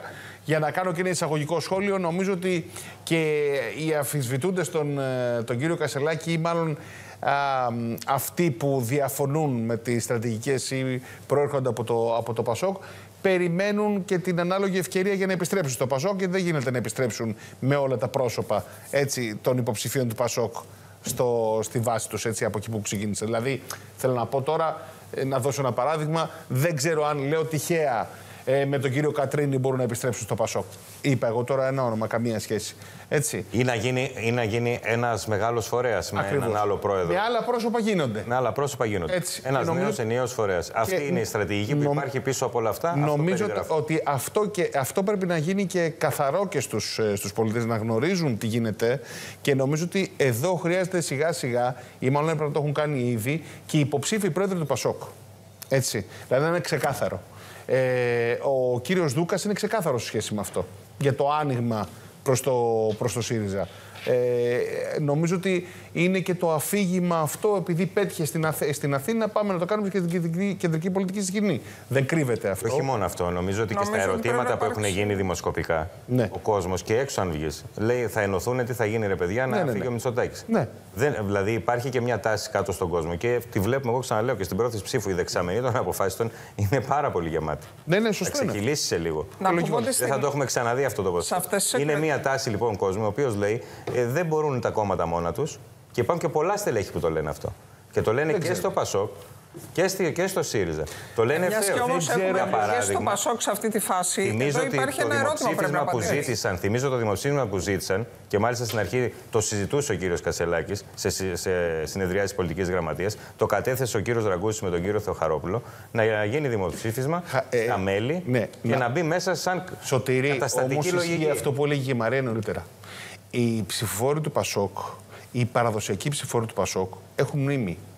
Δεν ξέρω κατά πόσο μπορεί να γίνει ένα ο ψηφοφόρος του Πασόκ με τον ψηφοφόρο του ΣΥΡΙΖΑ που, τον κατηγορούν, που κατηγορούσε του Πασόκ ότι κατέστρε- ότι κατέστρεψε στη χώρα. Στο Πασόκ αυτή Ελπίζω. τη στιγμή στη διαδικασία λείπει ένα πράγμα. Έχουμε 7 υποψηφίους. Νομίζω και φαντάζομαι ότι αυτό μάλλον θα γίνει με την κατάθεση των υποψηφιωτήτων ή πρέπει να γίνει με την κατάθεση των υποψηφιωτήτων. Ποιες είναι οι βασι... Ποιοι είναι οι βασικοί πυλώνες, ποιες είναι οι βασικές αρχές τις οποίες οποιοδήποτε κι αν εκλεγεί οφείλει να μην ε, λησμονήσει για το Πασόκ.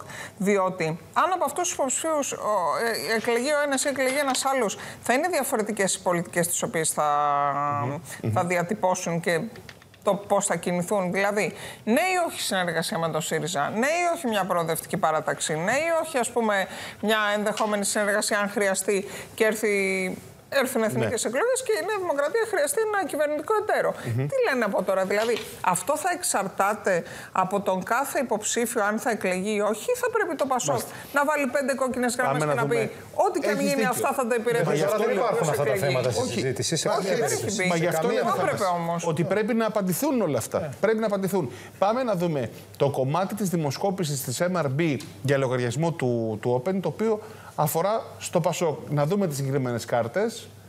Και εδώ η συνδρομή της κυρίας Καρακλούμη είναι σημαντική. Εδώ Ναι, έχουμε- είναι στο σύνολο των ερωτηθέντων και σε δυνητικούς ψηφοφόρους σε εσωκομματικέ εκλογές Πασόκ. Ναι. Το δείγμα 810 810 ψηφοφόροι. Ναι, ναι. Πρέπει να πούμε όμως ότι γενικά ό- ό- ό,τι έχει να κάνει σε ένα τέτοιο εκλογικό σώμα το οποίο είναι πολύ Ναι. πιο ειδικό, δύσκολα μπορεί Ναι, ναι, το έχουμε και το λέγαμε και στην περασμένη Οπότε στην τηλεοπτική παρούσα σειρά. φάση βλέπουμε και πριν να κατατεθούν όλες τι υποψηφιότητες, γιατί να πούμε ότι ε, βλέπουμε αυτούς τους 7 υποψηφίους. Δεν είμαστε βέβαιοι ότι όλοι θα καταθέσουν 5.000 υπογραφές και θα μπορέσουν να είναι μέχρι τέλου. Νομίζω είναι το Σαββατοκύριακο ε, λίγη αυτή η, η προθεσμία, αν δεν κάνω λάθος. 25,5% ο κ. Εννιά. Ανδρουλάκης, 21,9% ο κ. Δούκας, 17,5% η κυρία Διαμαντοπούλου, 12,6% ο κ. Γερουλάνος, 4,9% η κυρία Γιανακοπούλου, 3,3% ο κ. Κατρίνης και 0,9% ο κ. Κανελάκης. Ναι. Και εδώ είναι. Ε, ναι. Τώρα, αυτό το άλλο υποψήφιος, αυτό προφανώς είναι μεθοδολογικό σφάλμα γιατί δεν υπάρχει άλλος υποψήφιος. Ναι. Οπότε σε αυτήν την περίπτωση θα πρέπει να έχει εξαιρεθεί ως απάντηση Ναι. και να έχει πάει στο δεν απαντώ. Ή μπορεί να είναι κανένας από τους υποψηφίους. Δεν θα μπορούσε να είναι αυτή η απάντηση; Όχι, γιατί όταν ε. λέει άλλος, το κανένας θα μπορούσε να πάει στην αδιευκρίνηστη που είναι στο 12,7%. Ωραία, Οπότε ωραία, ας πούμε ότι το Ναι. 13,5% η Ναι, αδιευκρίνηστη. ναι. Πάμε στην επόμενη κάρτα να δούμε τι έχουμε. Ε, εδώ έχουμε. ε, Αυτή είναι που σίγουρα και μάλλον θα και μάλλον πάνε θα να πάνε. ψηφίσουν στις εκλογές ανεξάρτητα από το αν είχαν ψηφίσει Πασόκ ε, την προηγούμενη φορά. Εδώ Βέβαια είναι και εδώ πάλι βλέπουμε ότι πρώτος είναι κύριος λιγότερο, είναι Ανδρουλάκης. 553. 23,5% Νίκος Ανδρουλάκης, 22,6% Χάρης Δούκας, βλέπουμε ότι είναι πολύ κοντά, ούτε μια μονάδα δεν είναι η διαφορά. 17,2% Ανna Διαμαντοπούλου, 15,5% Παύλος Γερουλάνος, 3,2% Νέντια Γιανακοπούλου, 3,7% Μιχάλης Κατρίνης, 0,6% Γιάννης Κανέλακης. Ναι. Και 12,4 Τώρα αυτό η- δε- η- 13,6 αδιευκρίνηστη, γιατί δεν υπάρχει άλλος που θα μπορούσε Να δούμε και την τρίτη και έχουμε αμέσως σε ένα χάρη. Ε, για πάμε να δούμε την άλλη κάρτα. Αυτή είναι. Αυτή είναι που είναι Πασόκ. πάνε σίγουρα. Που μπορεί να μην έχουν ψηφίσει Πασόκ στις προηγούμενες εκλογές, αλλά δηλώνουν ότι σίγουρα θα πάνε να ψηφίσουν. Σε αυτούς λοιπόν που δηλώνουν ότι θα προσέλθουν οπωσδήποτε στην κάλπη της 6η Οκτωβρίου, 26,4% δηλώνουν ότι θα προτιμήσει τον κύριο Ανδρουλάκη, 25,7% τον κύριο Δούκα, 13,8% την κυρία Διαμαντοπούλου, 13,7% τον κύριο Γερουλάνο, 2,4% τον κύριο Γιανακοπούλου, 4,1% τον κύριο Κατρίνη, 0,2% τον κύριο Κανελάκη. Το σχολείο σου. Ε, 13,7% αδιευκρινιστή. Η εκτίμησή μου είναι ότι θα πρέπει να τα κοιτάμε με κάποια επιφύλαξη όλα αυτά τα δεδομένα που βλέπουμε. Νομίζω ότι είναι ανοιχτό το, το πεδίο για τους τέσσερις πρώτους που είδαμε παρά τις διαφορές που βλέπουμε σε αυτή Ναι. τη φάση. Και Δηλαδή, θεωρώ εδώ βλέπουμε ότι η- η κυρία Ανδρουλάκης, Διαμαντοπούλου έχει- Δούκας, Διαμαντοπούλου και Ρουλάνος είναι οι τέσσερι οι οποίοι έχουν ίδιες... ε, έχουν την ευκαιρία να πάνε σε δεύτερο γύρο. Ναι, Δεν ναι. ξέρω ποια θα είναι τελικά, Ε, ποια εδώ θα είναι βλέπω, διάδα ενώ τελικά. σε προηγούμενες Έχουν ξεχωρίσει. δημοσκοπήσεις είχαμε τον κύριο Γερουλάνο στην τρίτη θέση. Έτσι. Ναι, βλέπουμε είναι 0,1% Ναι, η διαφορά, ναι. δηλαδή είναι πολύ μικρή, αλλά εκτιμώ ότι αυτοί οι τέσσερι είναι οι βασικοί διεκδικητές. ναι, Είναι ναι. και πιο μεγάλη, ε, πιο μεγάλη διαφορά του κυρίου Ανδρουλάκη, έτσι. ναι, Σε σχέση με. Ναι, άλλες και να πούμε ότι από τους τέσσερις βασικούς διεκδικητές, οι δύο είναι βουλευτές, οι άλλοι δύο όχι. ναι, ναι. Χάρη. Ε, τώρα, σαν συμπέρασμα από αυτό το, το Γκάλοπ, ουσιαστικά ε, βλέπουμε μια εικόνα παρόμοια με αυτή που είχαμε και τον Ιούλιο. Ε, εγώ θα σημειώσω τα εξής δύο-τρία διαφορετικά πράγματα που νομίζω, κατά τη γνώμη μου, ότι έχουν και μεγαλύτερη σημασία. Ε, βλέπουμε να προκρίνεται ένα δίδυμο Ανδρουλάκη-Δούκα για το δεύτερο γύρο. Ε, Χωρίς όμως, επειδή πρέπει να είμαστε πολύ προσεκτικοί και όπως λέει και η Μαρία, πάρα πολύ επιφυλακτικοί, να θυμίσω πάλι ότι πριν τρία χρόνια στα Γκάλοπ για τις εσωκομματικές εκλογές του Πασόκ είχαν Λοβέρδο. πρώτο τον Ανδρέα Λοβέρδο, ο οποίος τώρα έκανε δικό Και του να θυμίσω κόμμα. ότι ο Έτσι. κύριος Μητσοτάκη ερχόταν τρίτος και τελικά εκλέχθηκε. Ε, είναι Εκλέχθηκε πρώτος, άρα πρέπει να είμαστε πάρα πολύ επιφυλακτικοί. πολύ φιδωλή γιατί είναι, είναι το εκλογικό σώμα που δεν μπορεί εύκολα να προσδιοριστεί. Ακριβώς. Ακριβώς. Ε, έχουμε αυτή την τετράδα που φαίνεται ότι από τους έξι και τους 7, αν βάλουμε και τον κανελάκι μέσα, ότι οι τέσσερις έχουν ένα προβάδισμα σαφές για να διεκδικήσουν την είσοδο στο δεύτερο γύρο. Ε, αυτό που θα σχολίαζα επίσης είναι ότι, κατά τη γνώμη μου, ο Ανδρουλάκης κρατάει την πρωτιά, αλλά με ένα κατά τη γνώμη μου όχι πολύ ικανοποιητικό ποσοστό. Δηλαδή, αυτό τώρα για να το δούμε με τα μάτια του απλού ψηφοφόρου, έτσι, γιατί αυτό έχει σημασία και όχι στο, από το πρίσμα που το βλέπουμε εμείς πολλές φορές. Εδώ τι βλέπουμε; Βλέπουμε ότι ο ένας στους τέσσερις ψηφοφόρους του Πασόκ, που λέει ότι μάλλον θα πάω ή σίγουρα θα πάω, ίσως θα πάω, περίπου ένας στους τέσσερις λέει ότι θα ψηφίσει το σημερινό πρόεδρο. Ναι. Αυτό κατά τη γνώμη μου είναι πολύ κακό. Δηλαδή, οι τρεις στους τέσσερις λένε ότι δεν θα ψηφίσουν το σημερινό πρόεδρο, τουλάχιστον στον πρώτο γύρο. Αυτό, κατά τη γνώμη μου, είναι αρνητικό για τον Νίκο Ανδρουλάκη. Ναι, αλλά παρα- Δηλαδή, έχει, έχει, ξεκινάει από ένα αρνητικό σημείο. Για να κάνω το γρήγορο του διάβολου. Παραμένει όμως πρώτος. Δηλαδή, να πω τώρα. Να... Με μία μονάδα από το Δήμαρχο Αθηναίων, που Υπερα- μέχρι πέρσι δεν τον ξέραμε. Μισό λεπτό. Υπερασπιζόμενος, υπερασπιζόμενος τώρα τον Ανδρουλάκη που λέει το εξής. Τον άκουγα σήμερα να λέει στη, στη, στην Ξάνθη. Ε, ότι παιδιά, ε, ανέβασε τα ποσοστά του Πασόκ, έχασε ο ΣΥΡΙΖΑ και ε, αντί, μάλλον ε, έχασε μονάδες στη Νέα Δημοκρατία, αντί να σπαράσει τη Νέα Δημοκρατία, διαλύεται ο ΣΥΡΙΖΑ και την κρίση την έχουμε εμείς που αφισβητούμε πέτυχα εγώ, ναι. περισσότερης, ε, μεγαλύτερο ποσοστό, χωρίς βέβαια να είναι το πολύ ψηλό. Εδώ πάλι πρώτος, αλλά δεν μας ικανοποιεί το ποσοστό. Εάν για Είναι αυτά ποσοστό τα... αυτό. Θέλω να πω ότι αν για αυτά τα δεδομένα έχει προκληθεί κρίση στο Πασόκ με αυτά τα δεδομένα, στο ΣΥΡΙΖΑ τι θα έπρεπε να έχει γίνει; Ναι, στο, απλώς όμως η η- κατάσταση ε, είναι ε, τελείως δεν βλέπουν διαφορετική. Έτσι. συγκριτικά. Προφανώς. Δηλαδή, στο ΣΥΡΙΖΑ έχουμε φαινόμενα διαλυτικά και φαινόμενα. Θα μπορούσε να πει κάποιος και έως και Ναι, αλλά πολιτικής θέλω να πω, παρακμής. δεν είναι και άδικο. είναι μια πολιτική διαδικασία, έτσι. Ναι. Παρόλο δεν, που. δεν είναι και άδικο σε ένα- για έναν άνθρωπο, λέω εγώ τώρα την ανθρώπινη διάσταση. Επιτρέψτε μου, δεν κάνω πολιτική Ναι, ανάλυση. απλώς ο αντίλογος- Ρε, παιδιά, Ισχύει αυτό. Ο Ανδρουλάκης λέει: Ανέβασα Ανέβασα το τον ποσοστά, Πασόκ. με αμφισβητείτε. Ο Ανδρουλάκης λέει και ανθρώπινα έχει απόλυτο δίκιο. Λέει: Παιδιά, ανέβασα τον Πα- Πασόκ και βρήκα και τον πελά μου κιόλας. Ναι, Και δεν με αμφισβητήσατε και τόσο καιρό.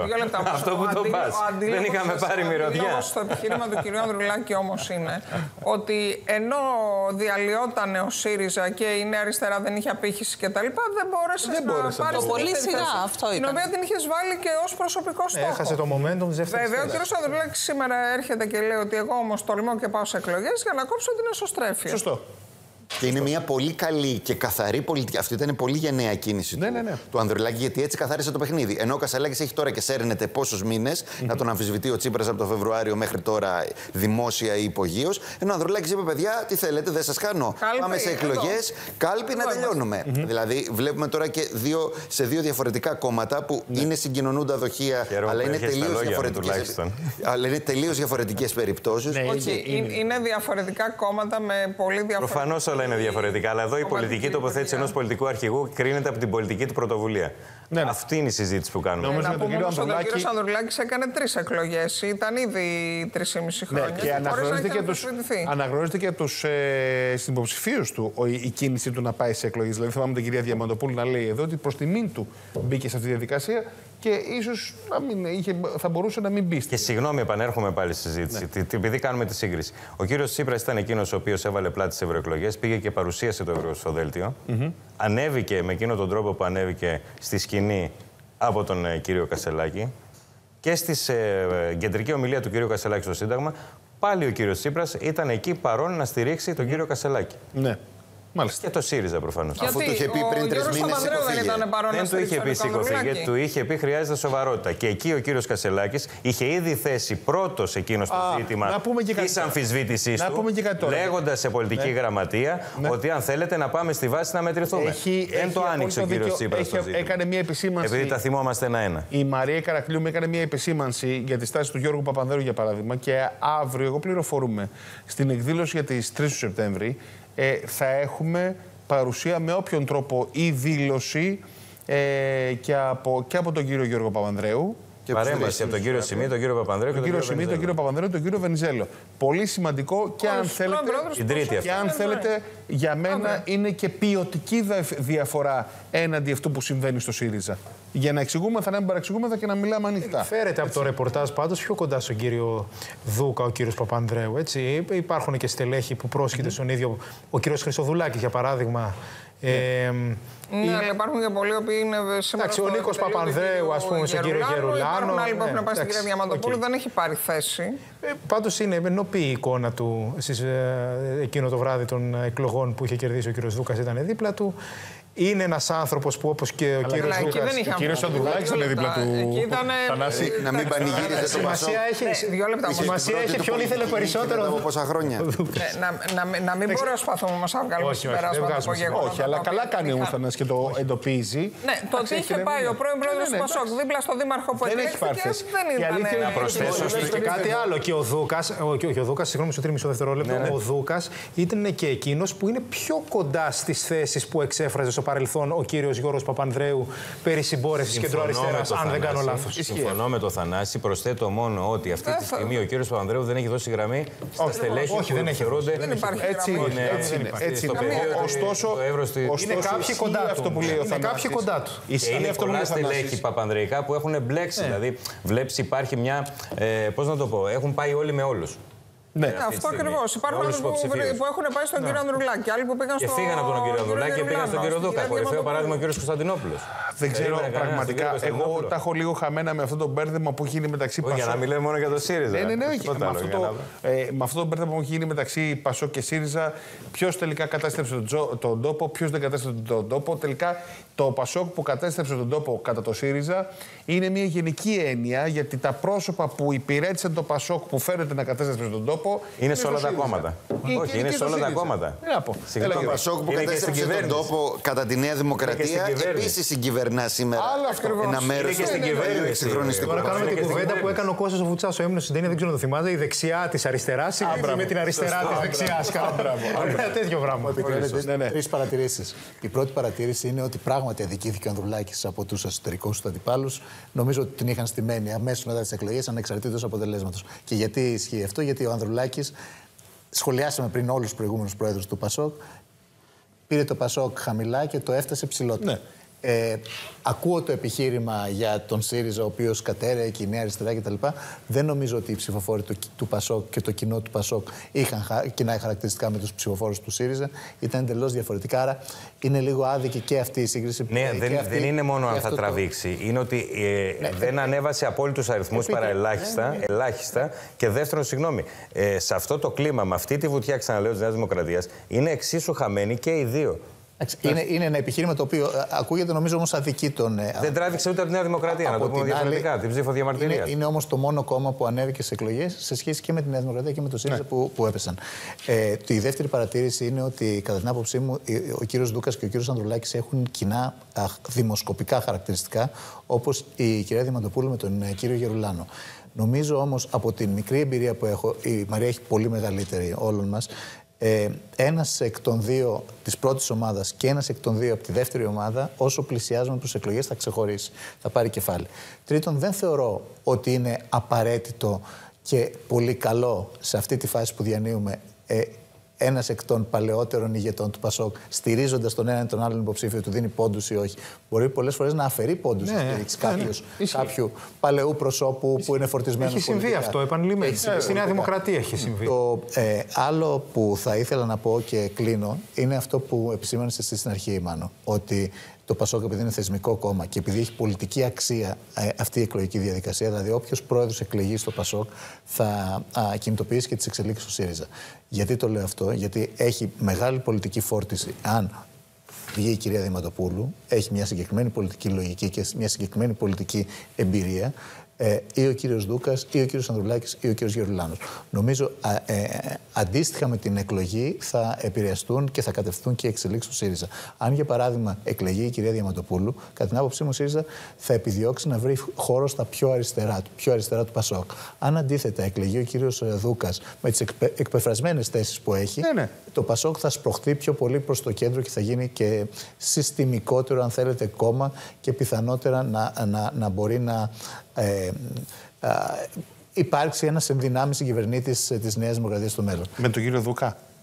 Ε, είπα, Το θα το απέκλειε εγώ. είπα, είπα το Εγώ εξής. και εγώ το αποκλείω, Αν- γι' αυτό είπα λέω. το εξής. Ε, αν ο κύριος Δούκας εκλεγεί, ο ΣΥΡΙΖΑ θα στραφεί πιο α, προς το κέντρο Α, ε, ο ΣΥΡΙΖΑ, και, γιατί... και το Πασόκ θα έχει πιο αριστερά χαρακτηριστικά. Ναι. Ε, στο, κλείνοντας αυτή την ε, κουβέντα, πράγματι θα έπρεπε να τεθεί από τώρα στο δημόσιο διάλογο και νομίζω στο debate που θα γίνει θα τεθεί οι βασικές αρχές του Πασόκ. Αν τελικά το Πασόκ θα συγκυβερνήσει με κάποιο κόμμα, εάν τεθεί ως δίλημα αυτό, ε, σε ποιες βάσεις, τι θα κάνει με τα ιδιωτικά πανεπιστήμια. Ε, ουσιαστικά όμως θα είναι πολιτικά τα διλήμματα και ιδεολογικά. Δεν θα είναι μόνο τι θα κάνει με τη μετανάστευση, τι θα κάνει με τις ε, αντίθετες φωνές που ακούγονται στα ζητήματα των δικαιωμάτων. Θυμίζω κάποιοι βουλευτές του Πασόκ καταψήφισαν α, τα ζητηματα του γάμου των ομόφυλων ζευγαριών. Νομίζω ότι αυτά τα ζητήματα όταν θα τεθούν στο δημόσιο διάλογο θα καθορίσουν και την ατζέντα και θα δώσουν και πολιτικό. Άλλωστε, μην ξεχνάμε ότι τα debate άλλοτε είναι ευεργετικά, άλλοτε καταστροφικά. Συμφωνώ. Και τελευταίο κλείνοντας, φαίνεται ότι ε, θα κριθεί ποιος θα βγει από τον κόσμο που θα φτάσει στις κάλπες. Αν ο κόσμος είναι πιο κεντρογενής, αν ο κόσμος ε, κινητοποιηθεί ε, βάσει ενός. Και πόσοι θα πάνε; Πρωτοβουλία Κυρίως και πώς αυτό. θα πάνε; Γιατί Να αυτό πω και θα κάτι δώσει άλλο; την Και πολιτική ποιοι θα πάνε; νομιμοποίηση. Ναι, ναι, και ποιοι το λέει. όσο- ο Γιώργος, πόσοι αλλά θα το πάνε. πόσο. λιγότεροι- λιγότεροι, και εξωθεσμού όσο και κέντρα. λιγότεροι Ε, ο- το ποιοι ευνοούνται. θα πάνε γιατί είναι οι, οι παράμετρος που βάζει ο Γιώργος, αλλά μην ξεκινήσουν και Αυτό, Μαρία, καραδιές το, από άλλα το κόμματα. μπακαλίστικο, Ακριβώς. αυτό το μπακαλίστικο που λέμε ότι μια πιο μικρή εκλογική δεξαμενή συμφέρει ας πούμε, τον κύριο Ανδρουλάκη, μια πιο μεγάλη, ε, ίσως κάποιον άλλον υποψήφιο, τον κύριο Δούκα για παράδειγμα, έχει βάση ή είναι, ξέρεις, αυτά τα, Ε, τα είναι σχέδια πο- επί χάρτου είναι- που κάνουμε. Είναι πολύ σχετικό γιατί αν δει κανείς την ανθρωπογεωγραφία του Πασόκ, ο κ. Ανδρουλάκης έχει χάσει πολλούς από τους ανθρώπους που τον στήριξαν Τους δικούς του. την προηγούμενη φορά. Οπότε υπολείπεται σημαντικά οργανωτικά. Ε, και βλέπω, ας πούμε, πολλά στελέχη που έχουν προσχωρήσει προς τον κύριο Δούκα, που έχουν ιδιαίτερες οργανωτικές ικανότητες. Οπότε δεν έχει να κάνει με το πόσο συρρυκνωμένη είναι η βάση. Ναι. Και έχει και, θα παίξει ρόλο και το εξής στις εκλογές του Πασόκ. Δεν είναι μόνο πόσοι θα πάνε. Θα πάνε περισσότεροι ή λιγότεροι από τις 270.000 προηγούμενης φοράς; Δεν είναι μόνο ποιοι θα πάνε, δηλαδή τι είδους ιδεολογικής προέλευσης θα είναι αυτοί οι ψηφοφόροι. Το τρίτο και πιο σημαντικό, κατά τη γνώμη μου, είναι γιατί θα πάνε. Δηλαδή, αυτή τη φορά, την προηγούμενη, πήγανε για να δώσουν το μήνυμα της ανανέωσης. Έτσι, ανάμεσα στον 70χρονο πρώην Πρωθυπουργό και το 40 Φέρελπι Ευρωβουλευτή, ψήφισαν Ναι. το δεύτερο. Αυτή τη φορά οι ψηφοφόροι που θα πάνε να ψηφίσουν στι εκλογές του Πασόκ, γιατί θα ψηφίσουν; Θα ψηφίσουν μόνο για πρόεδρο Πασόκ, θα ψηφίσουν υποψήφιο Πρωθυπουργό, θα ψηφίσουν πρόεδρο που μπορεί να απευθυνθεί και σε χώρο εκτός Πασόκ, δεξιότερα ή αριστερότερα; μπορεί να κερδίσει Αυτό το κατά τη Μητσοτάκη, γνώμη μου πρόεδρο είναι μπορεί να το πιο συμφωνήσει με το ενδιαφέρον Μητσοτάκη. ερώτημα. Ε, φοβάμαι εκεί ότι, πολύ φοβάμαι είναι η ότι ουσία. αυτό θα απα- απαντάτε κάπως Τι δίλημα θα βάλει ο κάθε υποψήφιος. Λοιπόν, Λοιπόν, παράδειγμα, ο Κασελάκης και βάλει θα κερδίσει τον Φοβάμαι Μητσοτάκη. ότι υπάρχει απάντηση Ναι. αύριο. Για να δούμε. Για να δούμε. πούμε λοιπόν, ε, κυρίες μου και κύριοι, σας ευχαριστώ πάρα πολύ που ήσασταν εδώ απόψε στην, σε αυτό το πρώτο evening report. Όπως ευχαριστούμε και εσάς που ε, ήσασταν στη συντροφιά μας. Θα ανανεώσουμε το ραντεβού μας για αύριο στις 10 το βράδυ ακριβώς. Να είστε καλά. Καλό βράδυ.